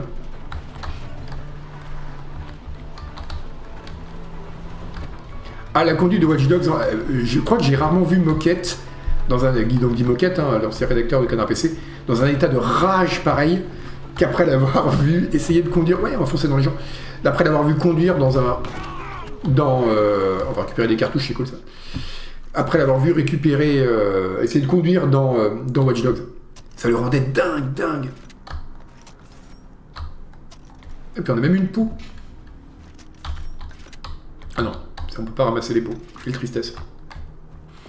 Il n'y a pas des, trucs à proximité, non? Ah mais c'est une tour radio, bah super. On fait d'une pierre deux coups.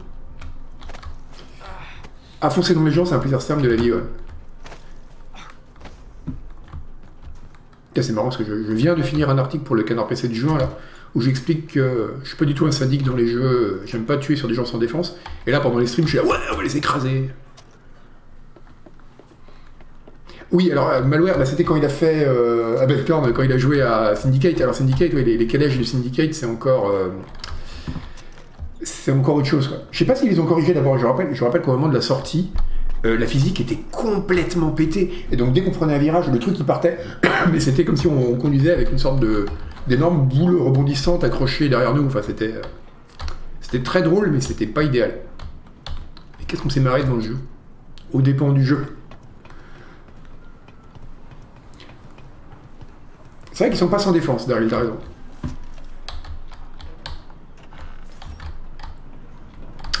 Ouais. Bon, c'est bien comme ça, on aura la carte.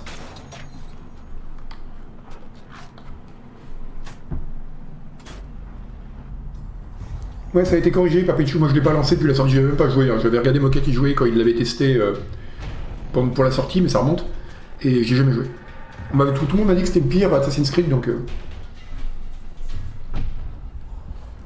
Ouais, c'est vrai que le cadenas est en mousse. Uh-huh. Alors, on va essayer de pas faire la même connerie que la dernière fois. Ouais, c'est bon. C'était cool comme les véhicules et tout. Bah merde, attends, il y a Abus là. Le feeling des armes était quand même très chouette. Il était vraiment très très réussi, ce jeu à plein de niveaux. Bon après comme tous les Far Cry qu'on suivi, hein, mais... euh, euh, c'est bon, on a tout. On va finir de vider la caisse. Et on va faire... Ah oui, on va crafter aussi des... De quoi se soigner, parce que vu mon skill, ça va pas être inutile. Et les fleurs blanches, donc qui servent à faire les... euh, les, les potions les plus puissantes, genre invulnérabilité, trucs comme ça. Et qui sont les plus rares, évidemment. Bon, on se prend quelques, potions- quelques, quelques feuilles, et après, on repart vers la baraque de Enhart, qui est quand même assez intéressante. Et le tous les personnages sont vraiment super bien. hein. Et euh, bon, Enhart n'est pas le, le mieux, mais il y en a d'autres après qui sont vraiment, vraiment, vraiment chouettes. Et ce qui est bien, c'est que chaque personnage représente un peu une approche par rapport au jeu et par rapport à l'univers du jeu. Les, les, Zodiacs sont cool.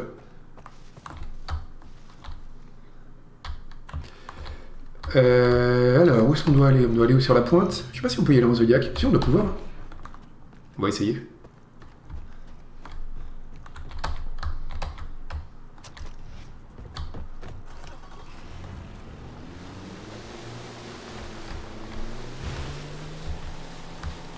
Elle est où la pointe? Attends, c'est comment? C'est. Ah oui, donc là je suis dans le mauvais sens déjà. Partir vers le nord et contourner.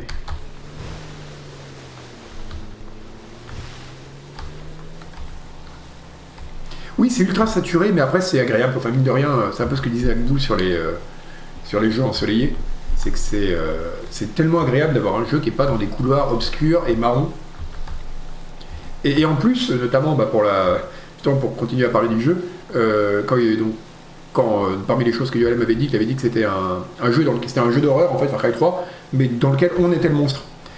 Et, et, ce et le côté euh, très lumineux du jeu accentue aussi ça. C'est-à-dire qu'il y a vraiment le côté horreur en plein jour qui marche très bien dans les bons films d'horreur, euh, comme euh, je sais pas. euh, euh, comment il s'appelle ce film The Wicker Man, l'original, hein, pas celui avec Nicolas Cage, qui est les films d'horreur où tout se passe de façon très claire, où c'est- terrible. Il y a plein d'éléments terrifiants, mais qui ne jouent pas sur le sur la peur, enfin sur la facilité de cacher ce que le spectateur voit, ça marche bien aussi.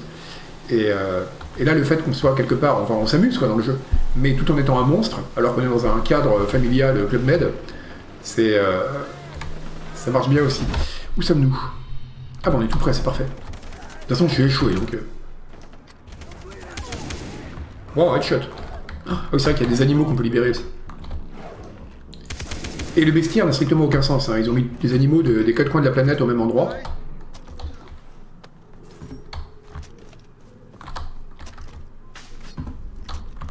Il y a aussi un truc assez euh, marrant, peut dire, c'est que les ennemis dans, euh, Far Cry euh, 3, quand on les tue, ont quasiment toujours une sorte de, petit monologue où ils disent je veux pas mourir, c'est horrible, qui dure pendant quelques secondes alors qu'ils sont par terre et qu'il n'y a pas d'animation, c'est pas celui en fortune quoi, qui va mettre en scène vraiment l'agonie du personnage. Ils tombent comme des méchants de jeux vidéo, mais ils meurent pas immédiatement. On les entend parler et dire qu'ils ont peur de mourir, euh, et ça c'est un truc qu'il n'y a pas eu dans les jeux suivants. Et je pense que voilà, justement dans cette espèce de de rapport qui est permanent dans le jeu et qu'on va voir petit à petit par le fait que c'est que tu es dans un jeu vidéo, c'est pas complètement neutre non plus. Que c'est à la fois très facile et enfantin, mais que, mine de rien, bah, si on passe à côté des gens pendant qu'on les fouille, on les entend agoniser. Quoi. Et commenter leur propre agonie.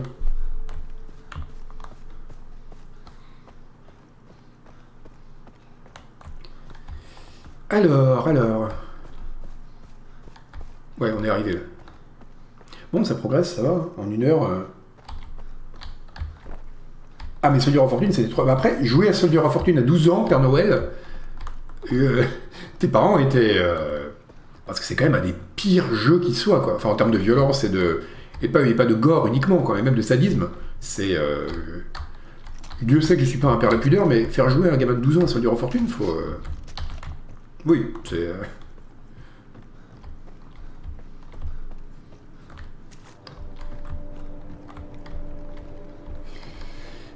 Et donc voilà la maison du docteur Enhart. Qui est assez cool, franchement. C'est un peu mon life goal pour mes vieux jours. euh, sur une corniche comme ça, l'espèce de baraque qui ressemble à rien. Avec un. Oui, c'est vrai qu'il y a des distributeurs de flingues dans le jeu. Tiens d'ailleurs, est-ce qu'on peut acheter des nouveaux trucs? Pour munitions, je crois qu'on est pas mal là. Euh. Est-ce qu'on peut avoir autre chose que. Ah, j'ai un STG 90. C'est mieux que la Kalash Ouais, non, c'est pas mieux.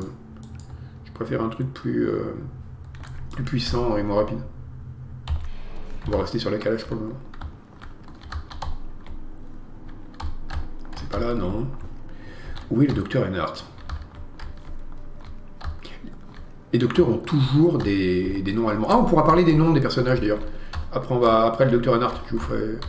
Parce que là aussi, il y a de la symbolique à très gros sabots. Et euh, ça va être intéressant d'en faire un point là-dessus, parce que c'est marrant, ça donne encore un- une approche possible. Ah oui, il doit être dans sa serre, qui fait pousser des plantes hallucinogènes.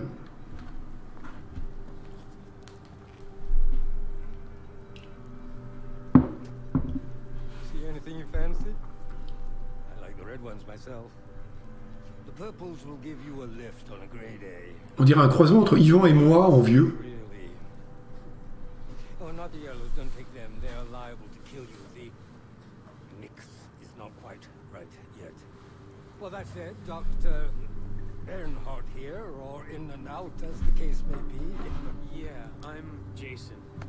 Dennis said you'd be able to help me, that you found one of my friends. One of your friends? Huh. I am uh, distilling a batch later today. Oui, il est fatigué. ouais. Après, vu ce qu'il prend, euh, Toto. euh, Oh, you, you mean the girl, Daisy? Ah oui, Daisy qui était une de leurs amies. hein. Donc c'était pas, euh, c'était pas sa copine. Where is she? Well, she's in my house. Here. Oui, c'est mon, c'est ma forme finale.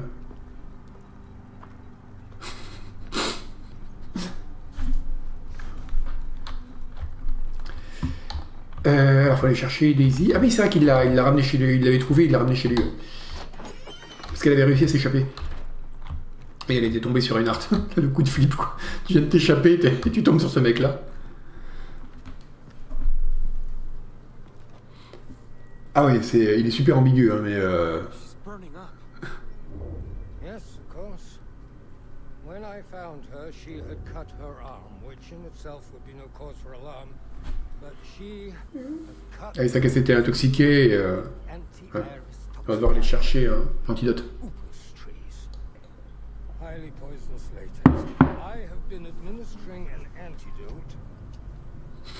Oui, c'est sympa, hein, Dieu vomi.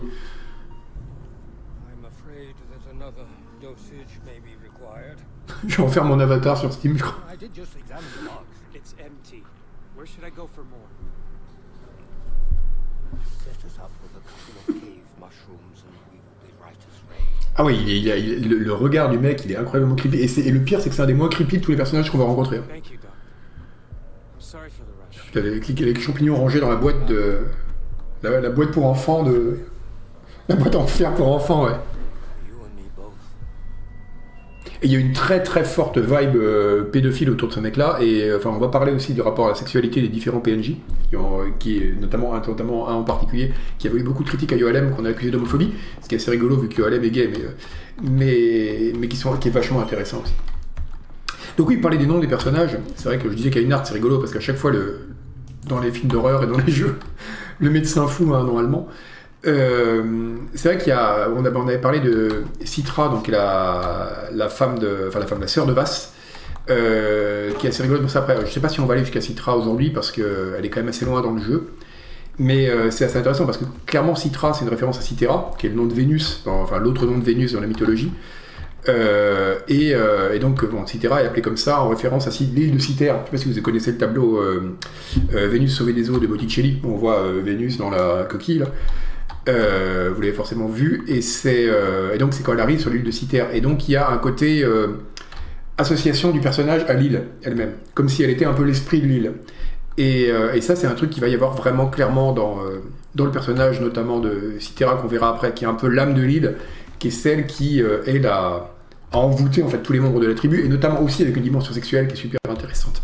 Parce que ça aussi, c'est. C'est mine de rien, c'est marrant parce que le jeu est sorti longtemps avant qu'il y ait le gros des discussions sur la masculinité militarisée dans les jeux vidéo.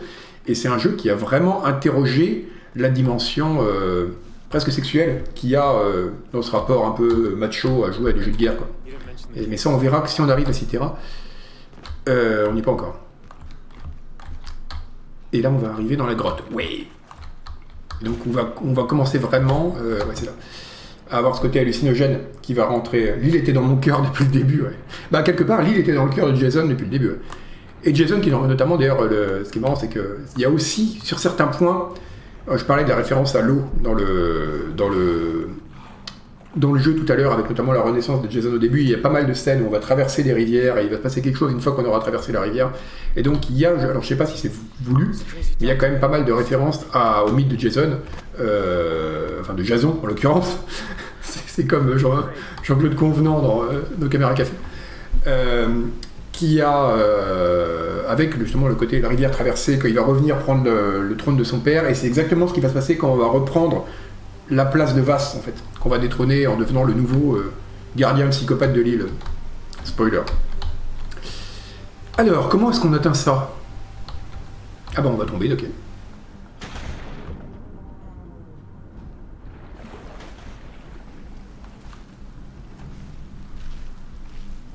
Ah bah je t'en prie papa, bon appétit. Il y en a qui mangent, il y en a qui ont du bol. Alors on a une réunion pour le prochain numéro juste après, je sais pas quelle heure je vais bouffer. Mais c'est très bien, comme ça, ça m'obligera à finir le stream à 14h pile, parce que sinon je suis parti jusqu'à minuit. Euh...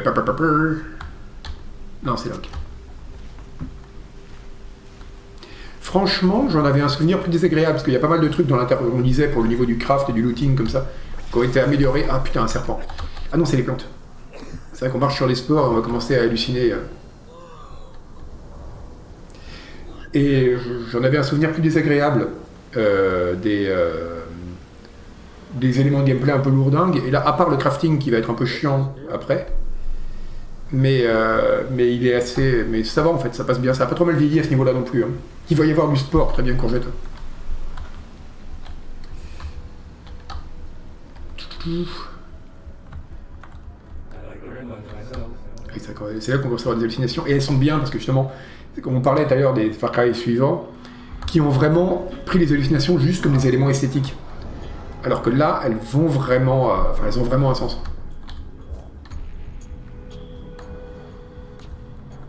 Et elles vont quelque part constituer un peu le discours sur le jeu. hein. Bon, pas trop la première, mais après.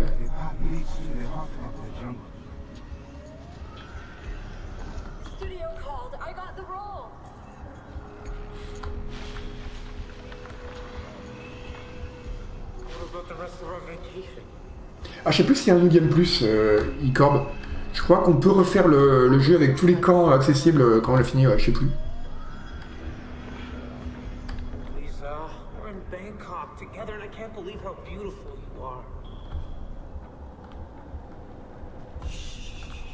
Oui, c'est très nature et découverte.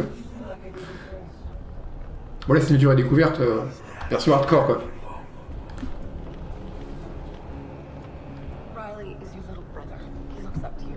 Et Riley, voilà. Et le, lien entre Grant et Jason, donc qui est son grand frère qui est mort au début, et Riley après, là, ça vous le verrez à la toute fin du jeu, c'est assez cool. C'est la transmission de la malédiction, en fait. Parce qu'au début, on admirait euh, Grant qui était euh, une sorte de guerrier capable de tuer sans difficulté, et à la fin, juste quand Jason va dire Ok, je. qui va sortir en fait de son délire et de son goût pour la violence euh, qui lui donne, donne quelque part un sens à sa vie qu'il n'en avait pas avant, euh, son petit frère va lui dire Ah, t'es trop génial, j'aimerais être comme toi. je trouve ça assez cool.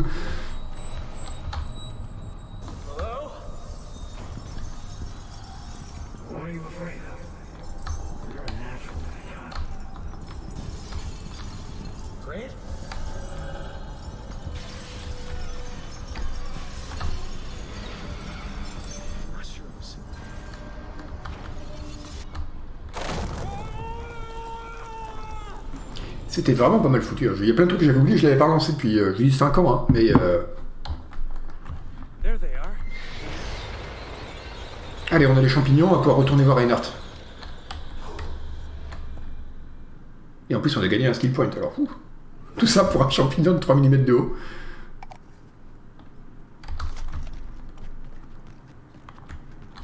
Ah, mais... mais... Bah ouais, ça, si ça peut vous donner envie de le refaire... Ouais, le 4 est pas très... Le 4, il savait pas quoi en faire, en fait. Il y a juste un truc rigolo dans le 4, qui est le... Que si, bon, ça paraît, tout le monde le sait, donc c'est même pas un spoiler, c'est au tout début du jeu. Si jamais vous faites rien, quand on vous invite à... euh, Quand le, mec qui vous invite sur l'île, là... euh, je ne me souviens plus exactement, mais en gros, vous invite à lancer, euh, la, combattre la rébellion, etc. Enfin, et vous allez finalement partir contre lui. Vous pouvez ne rien faire. Et le jeu va s'arrêter là. C'est-à-dire qu'il va vous dire, il va vous amener faire la fête avec lui ou aller pêcher ou je sais plus quoi. Et voilà, le jeu s'arrête et il n'y a eu aucune violence. Mais ça, c'est à la limite, c'est un peu. Spec euh, Ops The Line l'avait déjà fait en mieux et en plus subtil. Quand il vous disait, euh, ben, euh, la seule solution que vous avez, c'est de quitter le jeu en fait. Et là, il n'y avait même pas le côté mise en scène un peu rigolote. C'était dire, bah ouais, l'option c'est de quitter littéralement le jeu quoi. Et du coup, le fait de quitter le jeu, qui est quand même un truc qui est en dehors du jeu lui-même, devenait une possibilité quelque part. Et euh, c'est vraiment très bien. Mais Spec c'est plus évident, on va dire. Même si pour l'époque c'était dingue. C'est un peu comme, comme Braid, qui aujourd'hui passe pour un jeu, assez, un jeu indé assez standard. Mais à l'époque c'était complètement dingue, un jeu qui faisait ça. Et euh, Spec c'est un peu pareil. Il y avait peu de jeux à l'époque qui étaient allés aussi loin quand même dans le, dans le discours sur le propre, leur propre gameplay. Quoi. Allez, on va remonter. C'est quand même bien fait dans les jeux. Chaque fois, il y a un raccourci pour faire le. pour rentrer à la maison.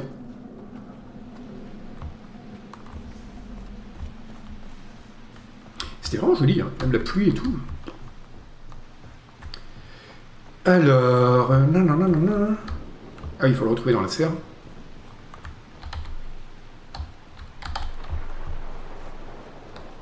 Mais c'est vraiment un vie de rêve, hein, avoir une serre comme ça au bord d'une montagne.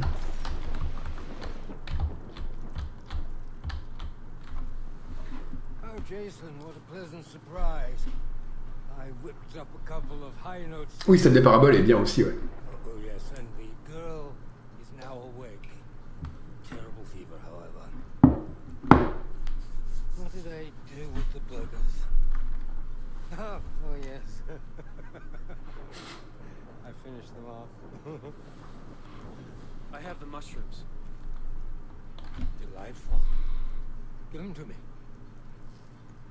Braid, oui, je pourrais faire un stream dessus si vous voulez, ouais. Après, je suis pas super fan de ce jeu-là, hein. mais, euh, mais oui, pourquoi pas.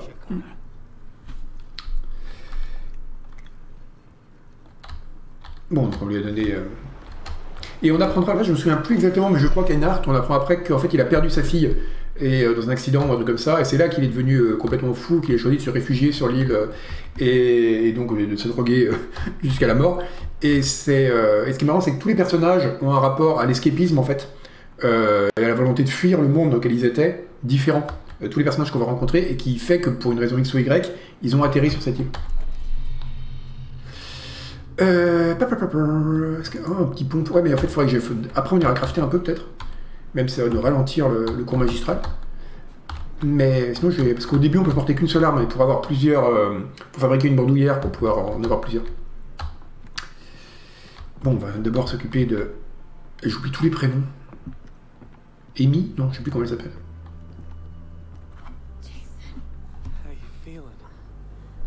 Daisy, voilà, merci Grumpf. Je vais, je les noter au fur et à mesure.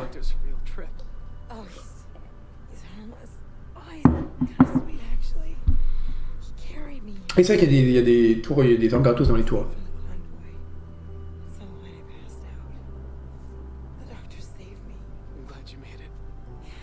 Oui, Einhardt, c'est un des meilleurs personnages du jeu, c'est dire on met la barre. Jason, what's wrong? Grant, he, uh.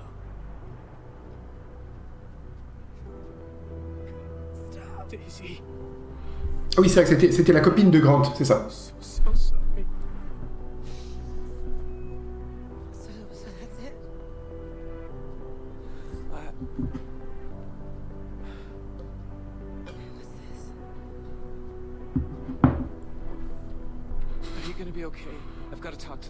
about the others?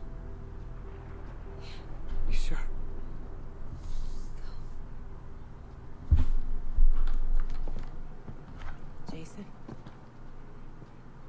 Whoever did this, whoever killed Grant,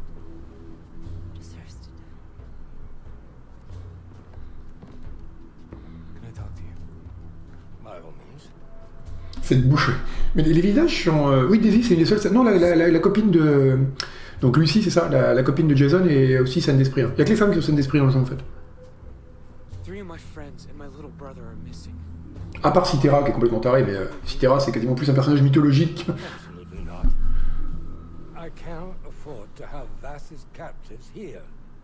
His men buy product from me todo el tiempo.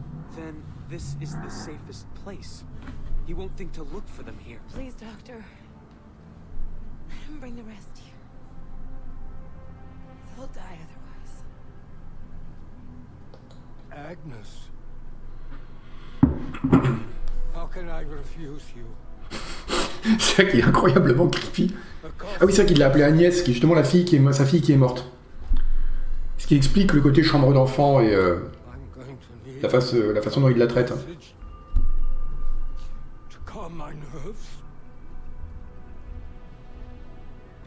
Et Vass, c'est incroyable. Vass, c'est un des meilleurs méchants de jeux vidéo.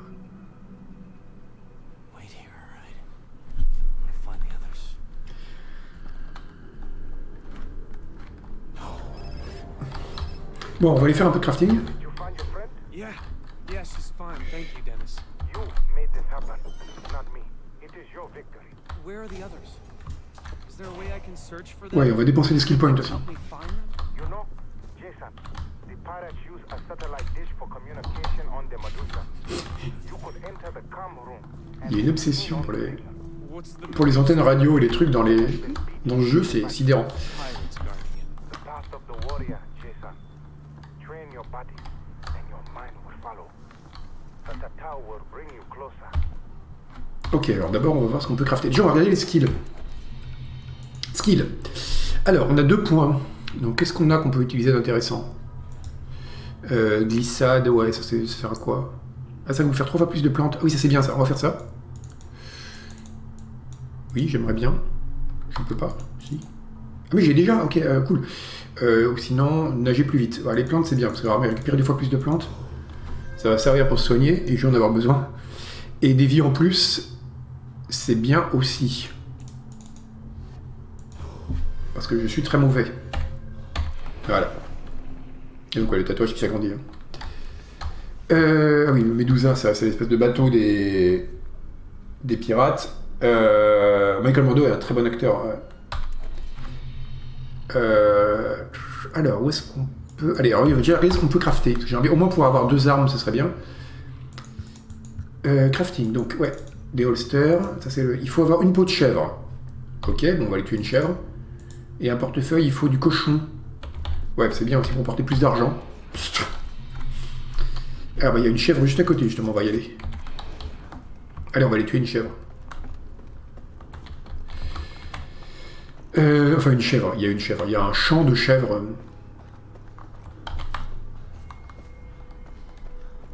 Alors ça pardonne pas du tout sur les chutes.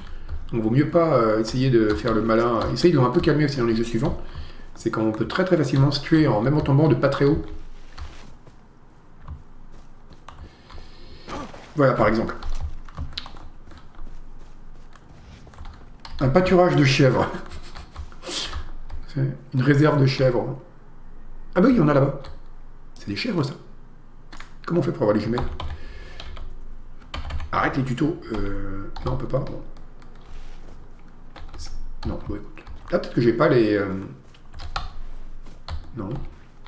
Quoi. Je crois qu'il y a un bouton pour l'appareil photo qui sert à voir les. Euh... euh, contrôle. euh, Caméra W. Ah, trop bien. On va faire des photos de chèvres. Non, c'est pas du tout une chèvre, c'est un caillou. Mais du coup, elles sont où mes chèvres? Ah bah si, c'est là.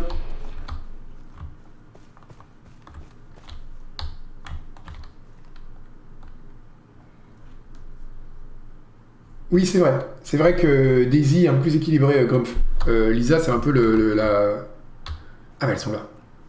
Tuer des chèvres à la calache, c'est quand même... Ouais On l'a eu. Ok, cool, on va pouvoir crafter un. Au début, ça va. hein. Après, quand il faut récupérer beaucoup de peaux d'animaux rares, ça devient un peu chiant. Voilà. Donc ça, c'est bien. Au moins, on pourra porter deux armes. Et ensuite, est-ce qu'on peut crafter ça? Oui. Super, on a trois seringues de soins. Euh, combien on peut porter de seringues? Je sais pas, parce qu'après on peut faire des trucs pour porter plus de seringues aussi. Et là il faut quoi? Il faut du cochon, comme pour les portefeuilles. Et ça c'est pour porter plus de, de matériel, enfin de, de loot quoi. Euh, bon, on va aller faire des cochons, comme ça on aura le portefeuille et les seringues, et après on est bon. Où est-ce qu'il y a des cochons? Là il y a des cochons. Bah, c'est parfait, du coup, on va, euh, on va prendre une caisse et on va peut-être même traverser là, comme ça on pourrait faire le camp qui est à côté et après on reprendra le scénario. Ça permet d'avancer un peu quand même. Ou le deltaplane, ouais, mais je sais pas si le deltaplane il va permettre d'aller assez loin. Euh, il est là. Ouais, ouais, c'est le deltaplane, tiens. Mais c'est vrai que la chasse est pas mal. hein. Le problème, c'est qu'il y en a. euh, il, euh, il y en a beaucoup. Et au bout d'un moment, ça devient un peu contraignant d'avoir. de devoir sans arrêt tuer des animaux pour récupérer des trucs. C'est un peu lourdingue, quoi. Ça fait beaucoup de. C'est un peu répétitif. Donc, ah oui, en effet, le deltaplane, c'est un bon bail. C'est parti.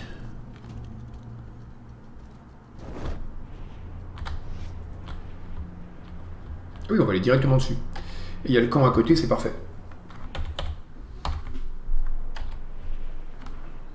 Ah, c'était quand même cool. Il y avait vraiment un côté euh, très agréable dans ce sentiment de liberté, euh, un peu à la Just Cause en fait. De vraiment avoir un immense espace dans lequel on peut se promener comme on veut.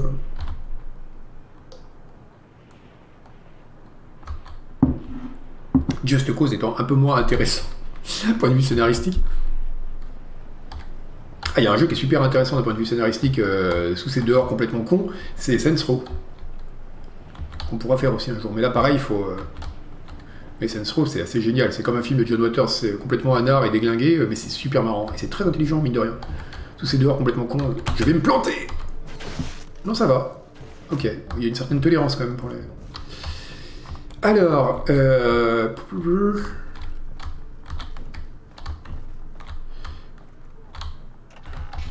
Donc, donc. Ouais, on va reprendre des plantes. Alors attends. Saints Row 4 est très très bien. Oui, si je dois en faire un, je ferai le 4, je pense. Euh... Alors, bah, on s'occuper des cochons d'abord, et après du camp. Chaque chose en son temps, et après, on part vers la Medusa. Il reste une demi-heure, parfait. Mais je ferai un long play, hein, parce qu'il y a trop de trucs à dire sur ce jeu. Surtout que les, passages les plus intéressants sont pas au tout tout début, donc... euh. Puis mine de rien, il est assez intéressant à, à jouer, en fait. Enfin, euh, c'est agréable, quoi. J'avais oublié que ça avait très très bien vieilli. C'est même, euh, sans parler du reste, un très bon FPS. Alors, les cochons. Là, deux cochons.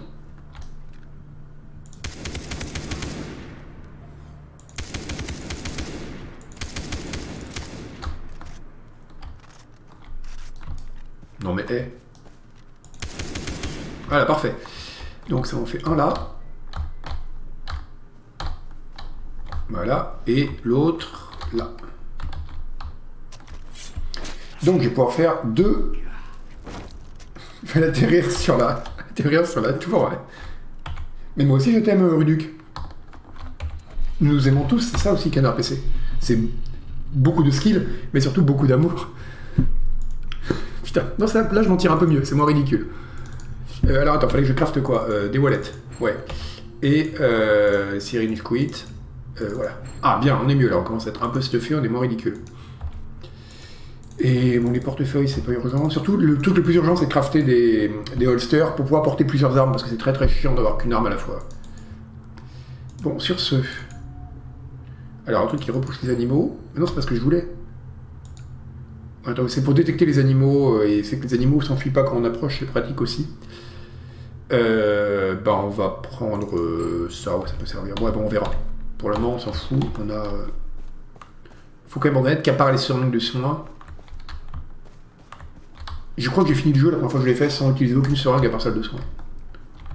En plus, là, je suis en mode moyen, donc ça devrait pas être trop. euh, Bon, on va faire le camp. Eh, c'est quoi, c'est des chiens Ah, si, j'avais... Ça, c'est bien, j'avais besoin de peau de chien pour un truc, je crois. Le mec qui tue tous les animaux qui croisent et récupère leur peau au cas où, quoi.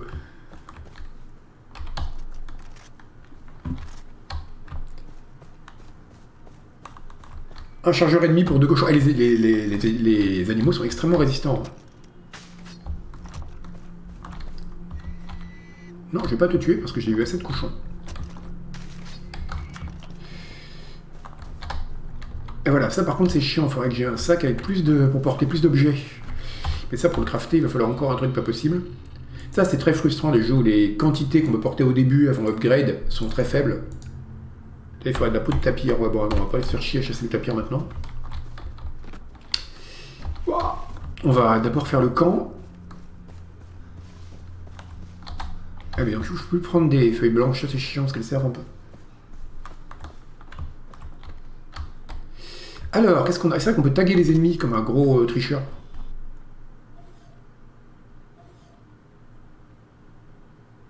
Il n'y a pas grand monde, il y en a un là, un là. Ah non, c'est même pas, c'est un chien. C'est même pas un mec. Un là. Attends.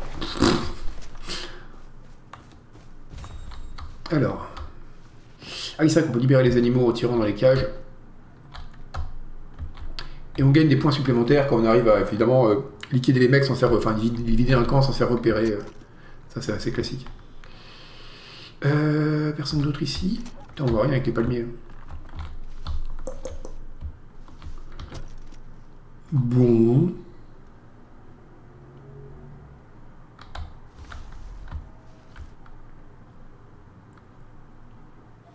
Ah, il y en a un autre là, ok. Bon, alors où est l'animal qu'on pouvait libérer?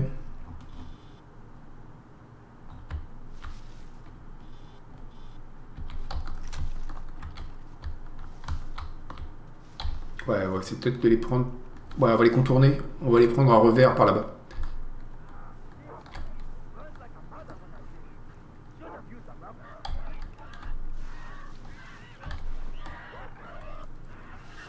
Ah, il faut péter l'alarme aussi, c'est vrai. ouais. Après, normalement, si jamais ils nous repèrent pas, ils pourront, ils vont pas activer l'alarme. hein, parce que quand ils l'activent, ouais, ça fait venir des renforts. euh. Ça c'est classique. Ah, il y en a un autre là-bas.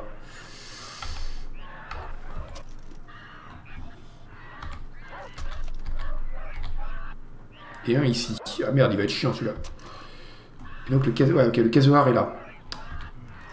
Je vais voir si je peux le libérer, mais si je tire d'ici, ils vont me repérer. À partir du moment, à un moment dans le jeu, euh, on a un fusil de sniper à silencieux, et, mais vraiment totalement silencieux, ce qui n'est pas très réaliste. Et du coup, le jeu devient extrêmement facile parce qu'on peut libérer les camps comme ça en dégommant les mecs un par un, euh, tranquille depuis une colline. C'est. euh, Surtout comme j'adore sniper dans les jeux. Euh, Alors que là, la calache. Ouais, en plus, il y est. Bon, on va faire le tour par là. On va faire des glissades, c'est trop bien. On va essayer de faire ça propre, et puis tant pis, sinon on fera une visual. hein. Oui, l'arc est très bien aussi. Par contre, l'arc, le problème, c'est que la balistique est un peu chiante parce que les, flèches tombent très vite. Donc, il faut bien calculer le- l'altitude. Je crois que c'est la balistique pour les balles n'est pas gérée dans Far hein. Les balles qui retournent tout droit. euh. Ah, mais c'est vrai qu'il y a un caillou. On peut jeter des cailloux. Voilà. Va voir le caillou. Ah merde, ça a attiré le chien aussi. Ah, mauvais plan, le chien. Bon, ok, bon, je vais faire une visual, tant pis. hein. Voilà, c'est foutu.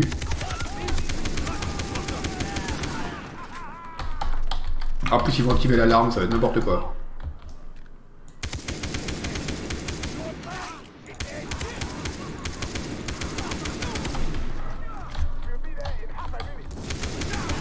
Ah, donc on a un délai quand même pour... Oh putain. C'était quoi C'était une grenade, ça? Ah, merde. Euh, pro gaming total, ouais. Belle technique. C'était très visual comme technique, ouais. C'était... euh, C'était pas mal. Non mais les chiens, c'est con parce qu'il n'y a pas... Si, il faudrait peut-être arriver par l'eau. Euh, par l'eau, ça sera peut-être plus simple. Putain, à peine arrivé, je suis déjà blessé, quoi.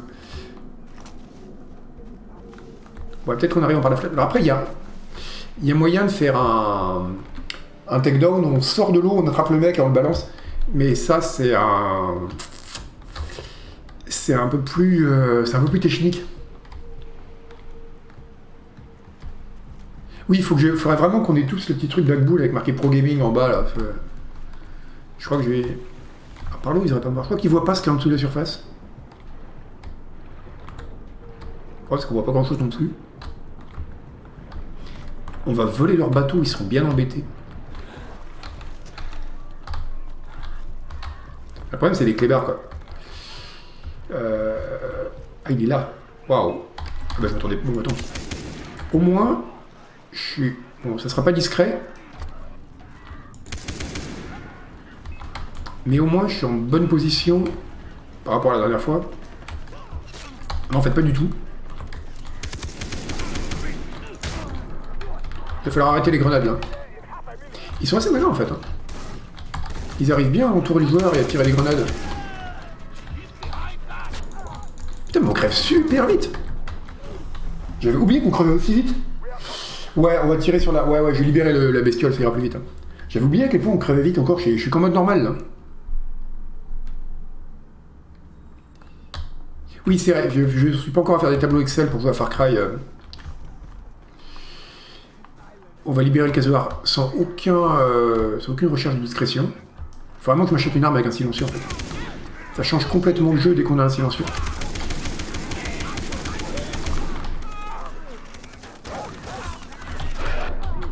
Putain, mais super, un clébard maintenant. Donc là, on est clairement du pro gaming de haut niveau. Ah merde, j'ai plus de munitions. Putain Ah mais non, c'est bon, je vais me planquer. Putain, j'ai un chien au cul et j'ai un point de vie. Ouais, l'arc est bien, ouais. Aussi pour ça, mais... euh, Il est où? Ah merde, il est là-bas. Putain, me fais courser sur un par un chien sur une plage, quoi. C'est ça la vie que j'ai voulu mener. Et j'ai pas... J'ai pas d'autres munitions. Ah, j'ai des grenades. Eh, le chien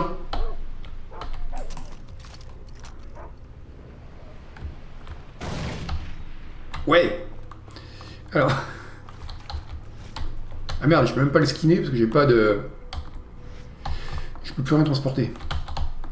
Bon. Ok.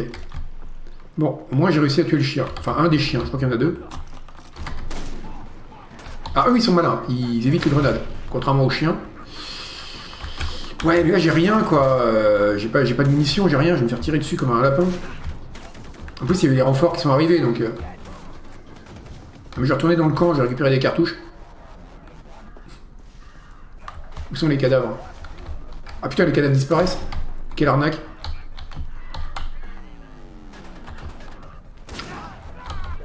Bon, l'alarme a déjà été activée, donc on peut rien faire. On crève vachement plus vite quand les vacailles suivants. Hein. J'étais resté sur ceux-là, mais... euh, Bon, bah voilà. Sans munitions, je vais pas aller loin. Si, peut-être les avoir à au couteau. Si j'arrive à les coincer. Ah, Vas-y, approche. Ah, mais là, ça va être compliqué. J'ai même plus de seringue, je de me recoudre à la main. Ok, bon, là, c'est mort. Il est où? Ouais, je vais crever. Le mec qui se recouvre au fur et à mesure. C'est une sorte de Rambo pourri, quoi. Euh, bon.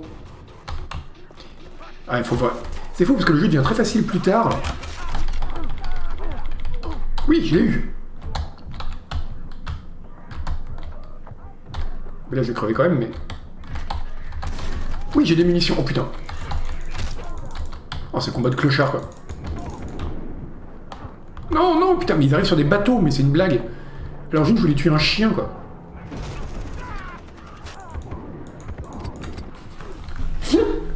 Bon, on, on va, on va faire autre. Ouais, quand t'as plus de seringue, c'est très. Et ça, quand même, c'est assez cool d'avoir la possibilité d'avoir un. Mais je dis, je suis bon qu'à Doom, mais littéralement. C'est, euh, je sais jouer à Doom, mais à aucun autre FPS.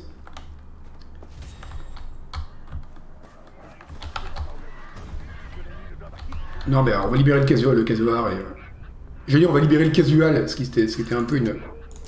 Ah, mais c'est une blague. Il m'a sauvegardé, il m'a repris sans les munitions. Ah ouais, non, mais là, si le jeu est contre moi. Putain, pour une fois que j'avais un. J'avais un angle de tir sur le. Quoi, mais ils m'ont repéré Ah, ok. Cool.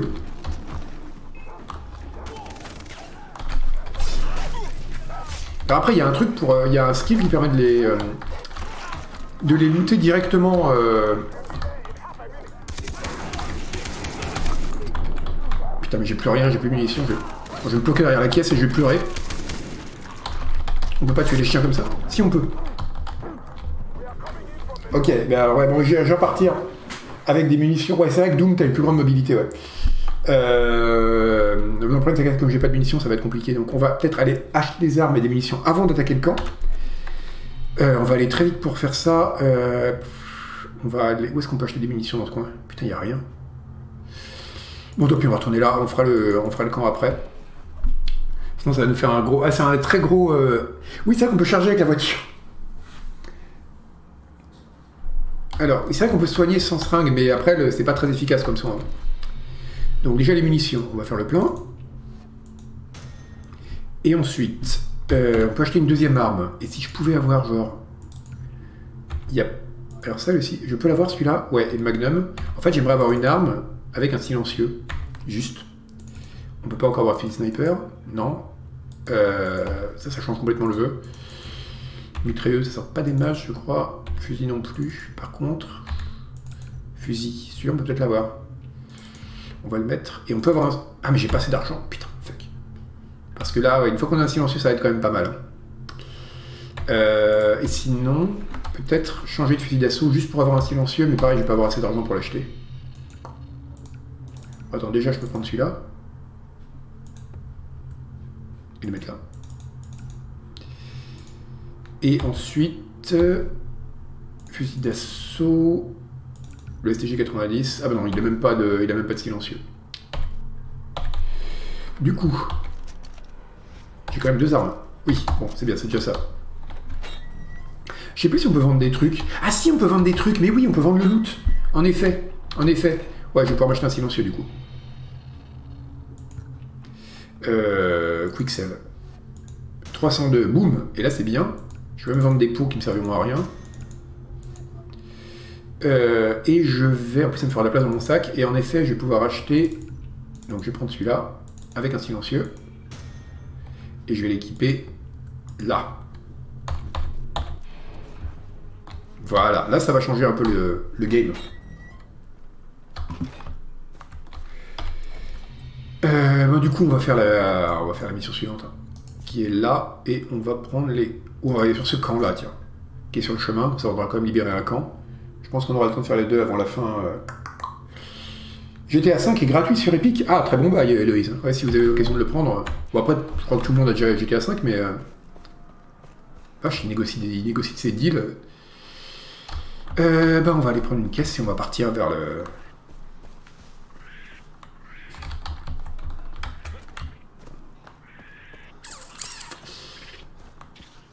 On va repartir vers le nord. Pour aller libérer le camp en haut. Oui, c'est ça, Bearfight, je pense que tout le monde a GTA 5, mais euh, je pense que c'est la raison pour laquelle Rockstar a été d'accord pour le mettre sur le store d'ailleurs. Je veux une voiture. Je crois que je sais plus si on, je crois qu'on peut pas se faire livrer de véhicules dans, dans celui-là. hein. Alors, il y a du monde là Oui, il y a du monde. Et il y a moins d'events aussi que dans de petits events aléatoires que dans les Far Cry suivants.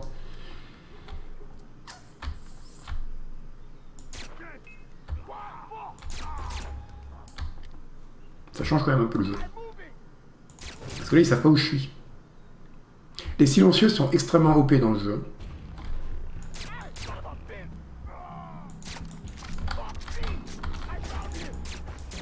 Hop, merde.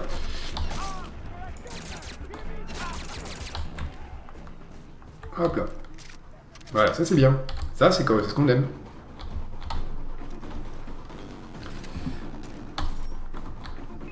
Merde, évidemment il y en a partout. Bon, on va changer de style.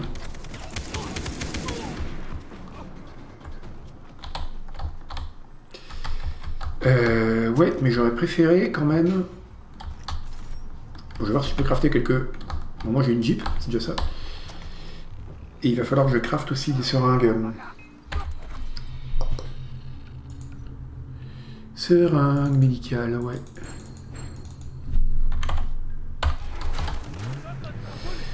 Euh... Bon, alors, attends, où on est?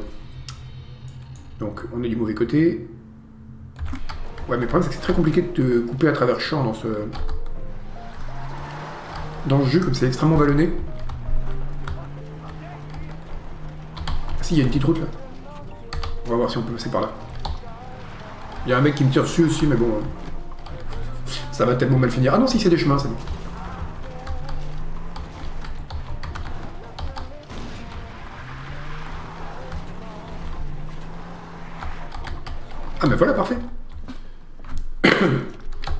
Me rappelle des vacances aux Canaries.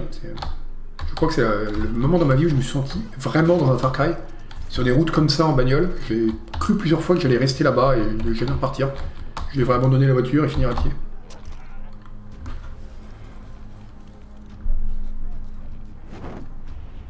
Alors, où est le camp? Il est là.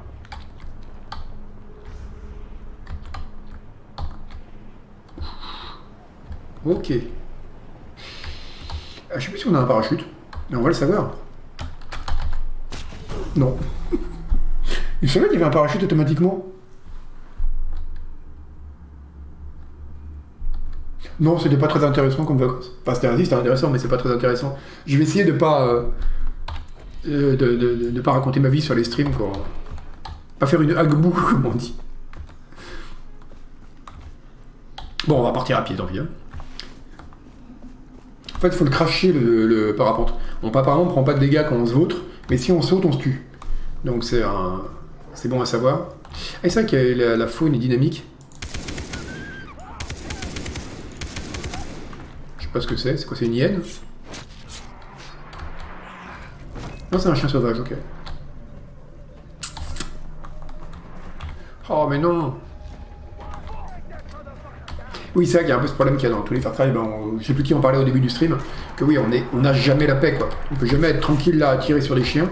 Il y a toujours des mecs qui vont débarquer. Ah oui, ils, tirent, ils débarquent pas à moitié en plus.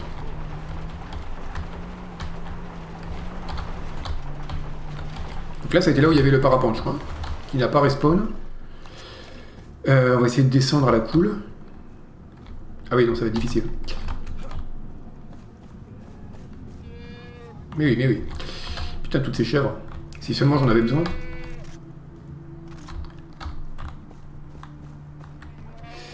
Euh, voilà, le camp est là. On a trois seringues, on a un silencieux avec 6 balles, merde. Bon, j'espère qu'on va retrouver là-dedans. Qu'un peu de chance, il y aura des cartouches des pistolets. Non, il n'y a rien du tout, c'est la misère. Ah, c'est chiant. Ah si, un gun ammo, super. Bon, avec 14 balles, il faudra pas les gâcher, mais on peut y arriver. Encore, c'est bon, c'est des cochons. Et de quoi se soigner, enfin des... Des feuilles vertes. Ok, alors. En plus, on a une très bonne vue sur le camp.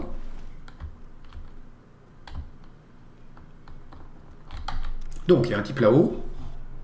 C'est un sniper en plus, mais on va se le faire en montant. Il y en a un en bas. Une bagnole, je sais pas où la si elle est là. Elle se casse.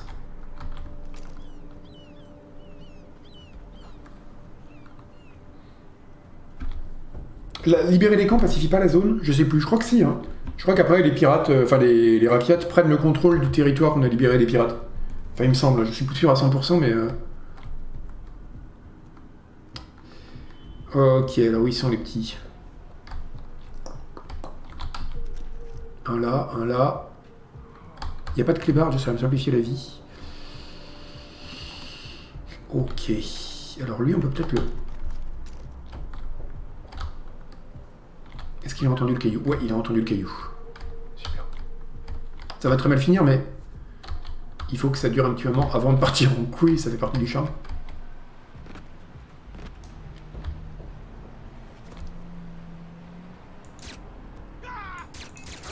Fuck Putain Merde Presque Attends, ouais, mais ils m'ont pas vu. Tant qu'ils t'ont pas vu, ils activent pas l'alarme, je crois. Il faut... euh, Même s'ils voient un cadavre, ils font rien. Ils se disent, euh, bon, il y a un mec qui est mort, quoi. Là, ils m'ont vu, par contre, donc ça va partir en couille.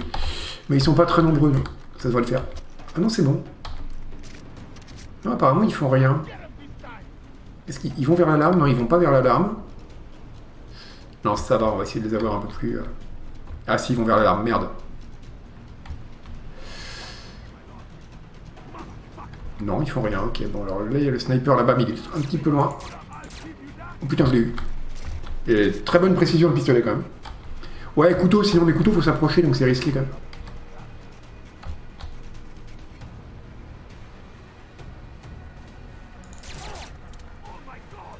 Ok. Il me reste 5 balles et il reste un mec qui monte là-haut. Merde. Je voulais les charger, mais ça n'a pas marché. Putain, je l'ai eu avec ma dernière balle. Oui, je vais prendre le fusil du sniper, ouais, c'est... euh, Et surtout, après, je vais directement aller acheter un... Ah, j'ai même eu le bonus, pas de... Alors, il était où le sniper? Il était descendu là, je crois. hein. Ouais, il est là. Ah, ça, c'est la belle vie. Euh, on va switcher avec le pistolet plutôt.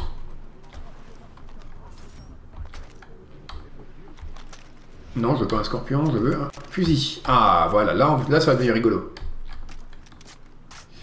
Et si je peux foutre un silencieux dessus, alors là, c'est le... C'est parfait, pour les, surtout pour la mission suivante. C'est cool, on va avoir juste le temps de faire la mission suivante euh, avant de, avant d'attaquer, euh, enfin pour finir le stream, et du coup, on aura tous les éléments euh, vach- vachement intéressants au début du stream de l'épisode suivant. Parce que c'est là qu'on va retrouver Vas, qu'on va euh, libérer Lisa, etc. Alors, est-ce que déjà la question c'est est-ce que j'ai assez de thunes pour. Les memory cards, c'est juste des collectibles, je crois. Donc, on va tout vendre. Est-ce que je peux acheter pour mon fusil de snipe un silencieux? Ah, il n'a pas de silence, il n'a pas d'attachement celui-là. Le problème, c'est que les fusils snipe sans attachement, ils servent pas à grand chose en fait. Ce qui fait vraiment la qualité du truc, c'est le. C'est le. C'est le silencieux en fait. C'est ça qui permet vraiment d'en faire une arme super efficace. Donc je vais rester là-dessus pour le moment. Et je vais voir si je peux vite fait. Voilà, acheter des cartouches. Ok, on est bon. Bon, on va faire la mission suivante. La carabine, et euh, ouais, c'est le, le FAMAS là, qui est très efficace, je crois. Ah, ah oui, non, c'est une sorte de M14, je crois, un truc qui tire au coup par coup. Euh, Semi-auto qui est vachement bien, ouais. Euh, mais je crois qu'on peut pas encore les. Enfin, on peut toujours les acheter, mais. en fait, il y a deux façons d'obtenir les armes c'est où on progresse dans l'histoire et du coup, où on les trouve sur un ennemi et là on les a gratuitement. Ça les débloque en fait, ou alors il faut les payer pour, il faut payer pour les avoir plus tôt et c'est assez cher. Oui, c'est celui-là. C'est le MS-16 qui est monstrueux, mais il est cher. Ou alors il faut libérer des tours radio voilà, pour débloquer des. euh, C'est le FAMAS c'est pas une carabine. Donc, où est le. Où est le. L'objectif il est là. Allez, voilà, ça va. On a des munitions, des grenades, on a tout.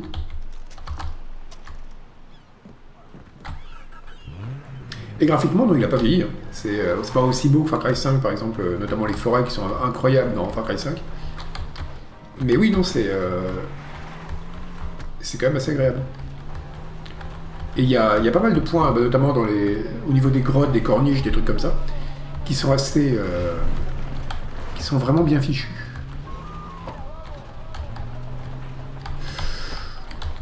Ouais Alors, hop.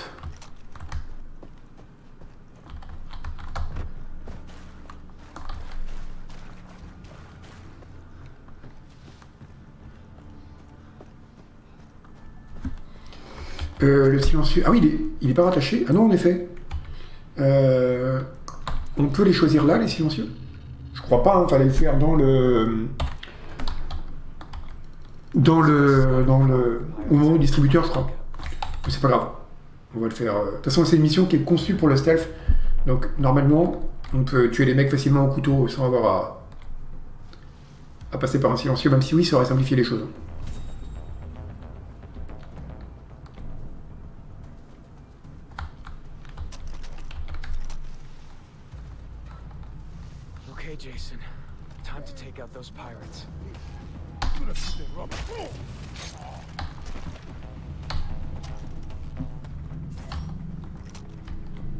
Après, on peut déplacer les corps aussi. mais ça sert pas énormément. Ah oui, c'est très répétitif Far Cry. Euh, c'est euh, c'est un peu le problème d'ailleurs, justement. C'est pour, pour en faire un stream où on veut commenter un peu le jeu, qu'on est obligé de se taper des moments très très très très répétitifs plusieurs fois euh, pour arriver au moment vraiment intéressant. Mais là après ça va quand même accélérer après cette mission là notamment. Far Cry Primal, oui, avec le mode réaliste, il est devenu assez intéressant. Parce qu'il a. euh, ça devient assez dur en fait. Le fait que ben, on est faim, on est euh, froid la nuit, des trucs comme ça, euh, ça en fait presque un jeu de survie en fait. En plus, avec, il y a un mode hardcore même euh, où on- avec euh, permadef que je vous recommande pas parce que comme tous les jeux qui n'ont pas été pensés dès le départ pour le permadef, ça devient vraiment très très dur.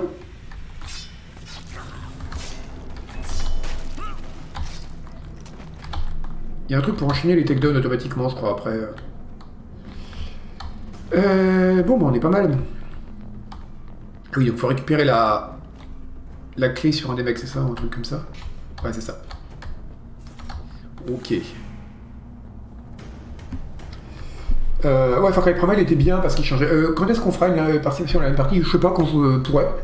Là, j'ai pas mal de boulot ces derniers temps parce qu'on est en train de travailler sur des trucs divers et variés. Mais moi, il y a quelqu'un qui avait proposé pendant un stream de faire un Worms en LAN avec tout. En plus, l'avantage, c'est Worms, on peut jouer à plein.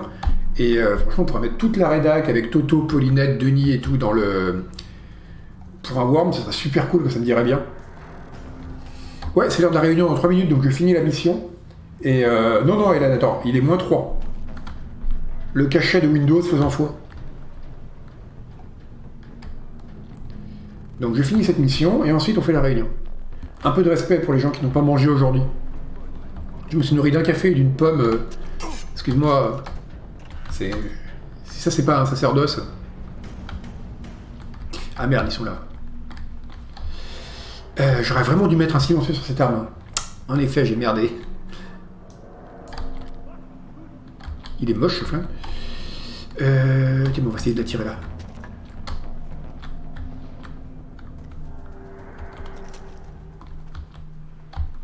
Ça va pas marcher, mais au moins il fait demi-tour.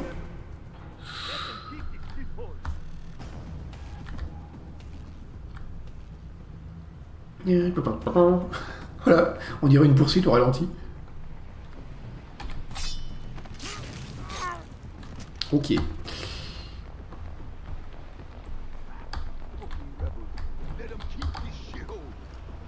Ne te retourne pas, surtout ne te retourne pas.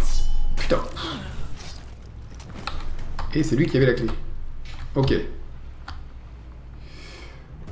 Euh, euh, oui, la démarche du mec est très réussie, ouais. Euh, ça va. Donc comment on va pouvoir... Qu'est-ce qu'on a ici? Bon. Il faut faire quoi? Ah oui, on faut récupérer l'intel sur les mecs qui patrouillent. Mais où est le troisième? Ah, il y en a un là, ok. Je sais pas comment on les reconnaît. Ah si, on doit pouvoir les taguer comme des euh, mecs spéciaux avec la caméra. Ouais, c'est ça. Ok. Chaque fois, c'est un mec avec un béret et une barbichette.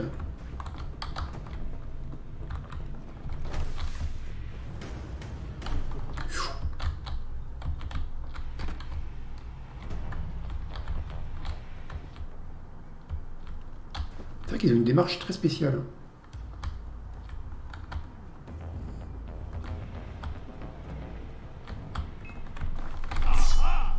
Ah ah Ok, je crois que j'ai eu les trois. Oui, c'est bon, j'ai la clé. Maintenant, faut aller...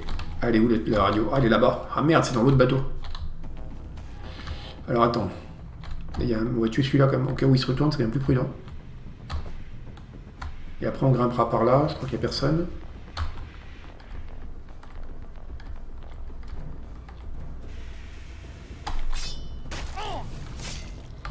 Ouais, on peut les taguer en les visant, c'est vrai, c'est vrai.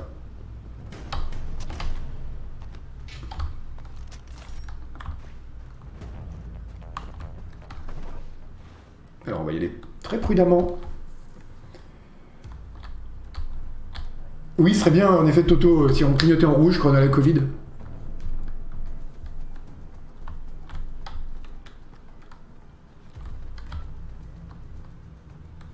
Écoute, je me suis déconfiné pour la première fois hier, euh, Toto, j'ai vu des gens, donc... euh, Ça se trouve, c'est mon dernier stream. L'avenir nous le dira.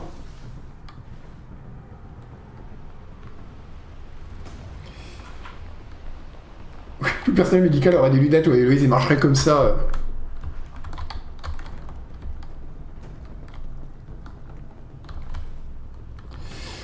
Euh, bon, on va pouvoir monter. Je- c'est le drame, c'est que je, je suis très impatient. Donc, dans les jeux de stealth, rapidement, je me mets à courir parce que j'en ai marre de ramper comme un con. Et je meurs. Non, c'est bon, on est arrivé. Voilà, on va pouvoir activer ça. Comme ça, on va récupérer les coordonnées de là où se trouvent les otages, euh, où Vas les a amenés. To light up buyers. Do it. After the money from the barrel show up, the kids go onto the black market and we deliver them to the buyers. Double the money. Bloody life. Oui, ça, je clignote pas, Toto, c'est bon signe. Ah oui, après, il y a une phase où on doit faire du, de la défense de bateau, où les mecs vont arriver en pagaille. I'm ready. It's now or never. Ah oui, et Jason n'arrête pas de se parler tout seul aussi. Et, euh, et au début, on croit que c'est juste un gimmick. Et aussi, après, dans les commentaires qu'il fait sur lui-même, plus tard dans le jeu, quand il est vraiment devenu fou. C'est assez intéressant. Euh, ah oui, ils arrivent carrément par bateau.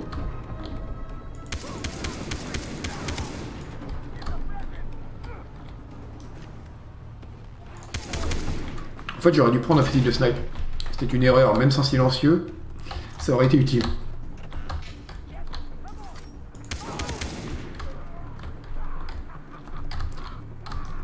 Ça va, ils sont pas très mobiles. Tant qu'ils approchent pas, ça va le faire.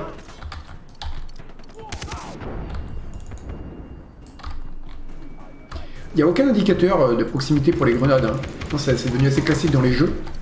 Je me souviens plus si c'était le cas à l'époque. euh, Mais quand il y a une grenade qui va nous péter la gueule, euh, même si elle est à 2 mètres, on n'a pas un petit, warning qui s'affiche. C'est marrant de voir un peu l'historique des aides, comment c'est devenu euh, banal dans les jeux et comment on s'attend à leur présence en fait. Ce qui fait que du coup, quand il y en a pas, euh, bah, on se dit c'est impossible qu'il y ait une grenade, on me l'a pas dit quoi. Euh, faut faire quoi d'ailleurs maintenant? Faut se barrer? Non?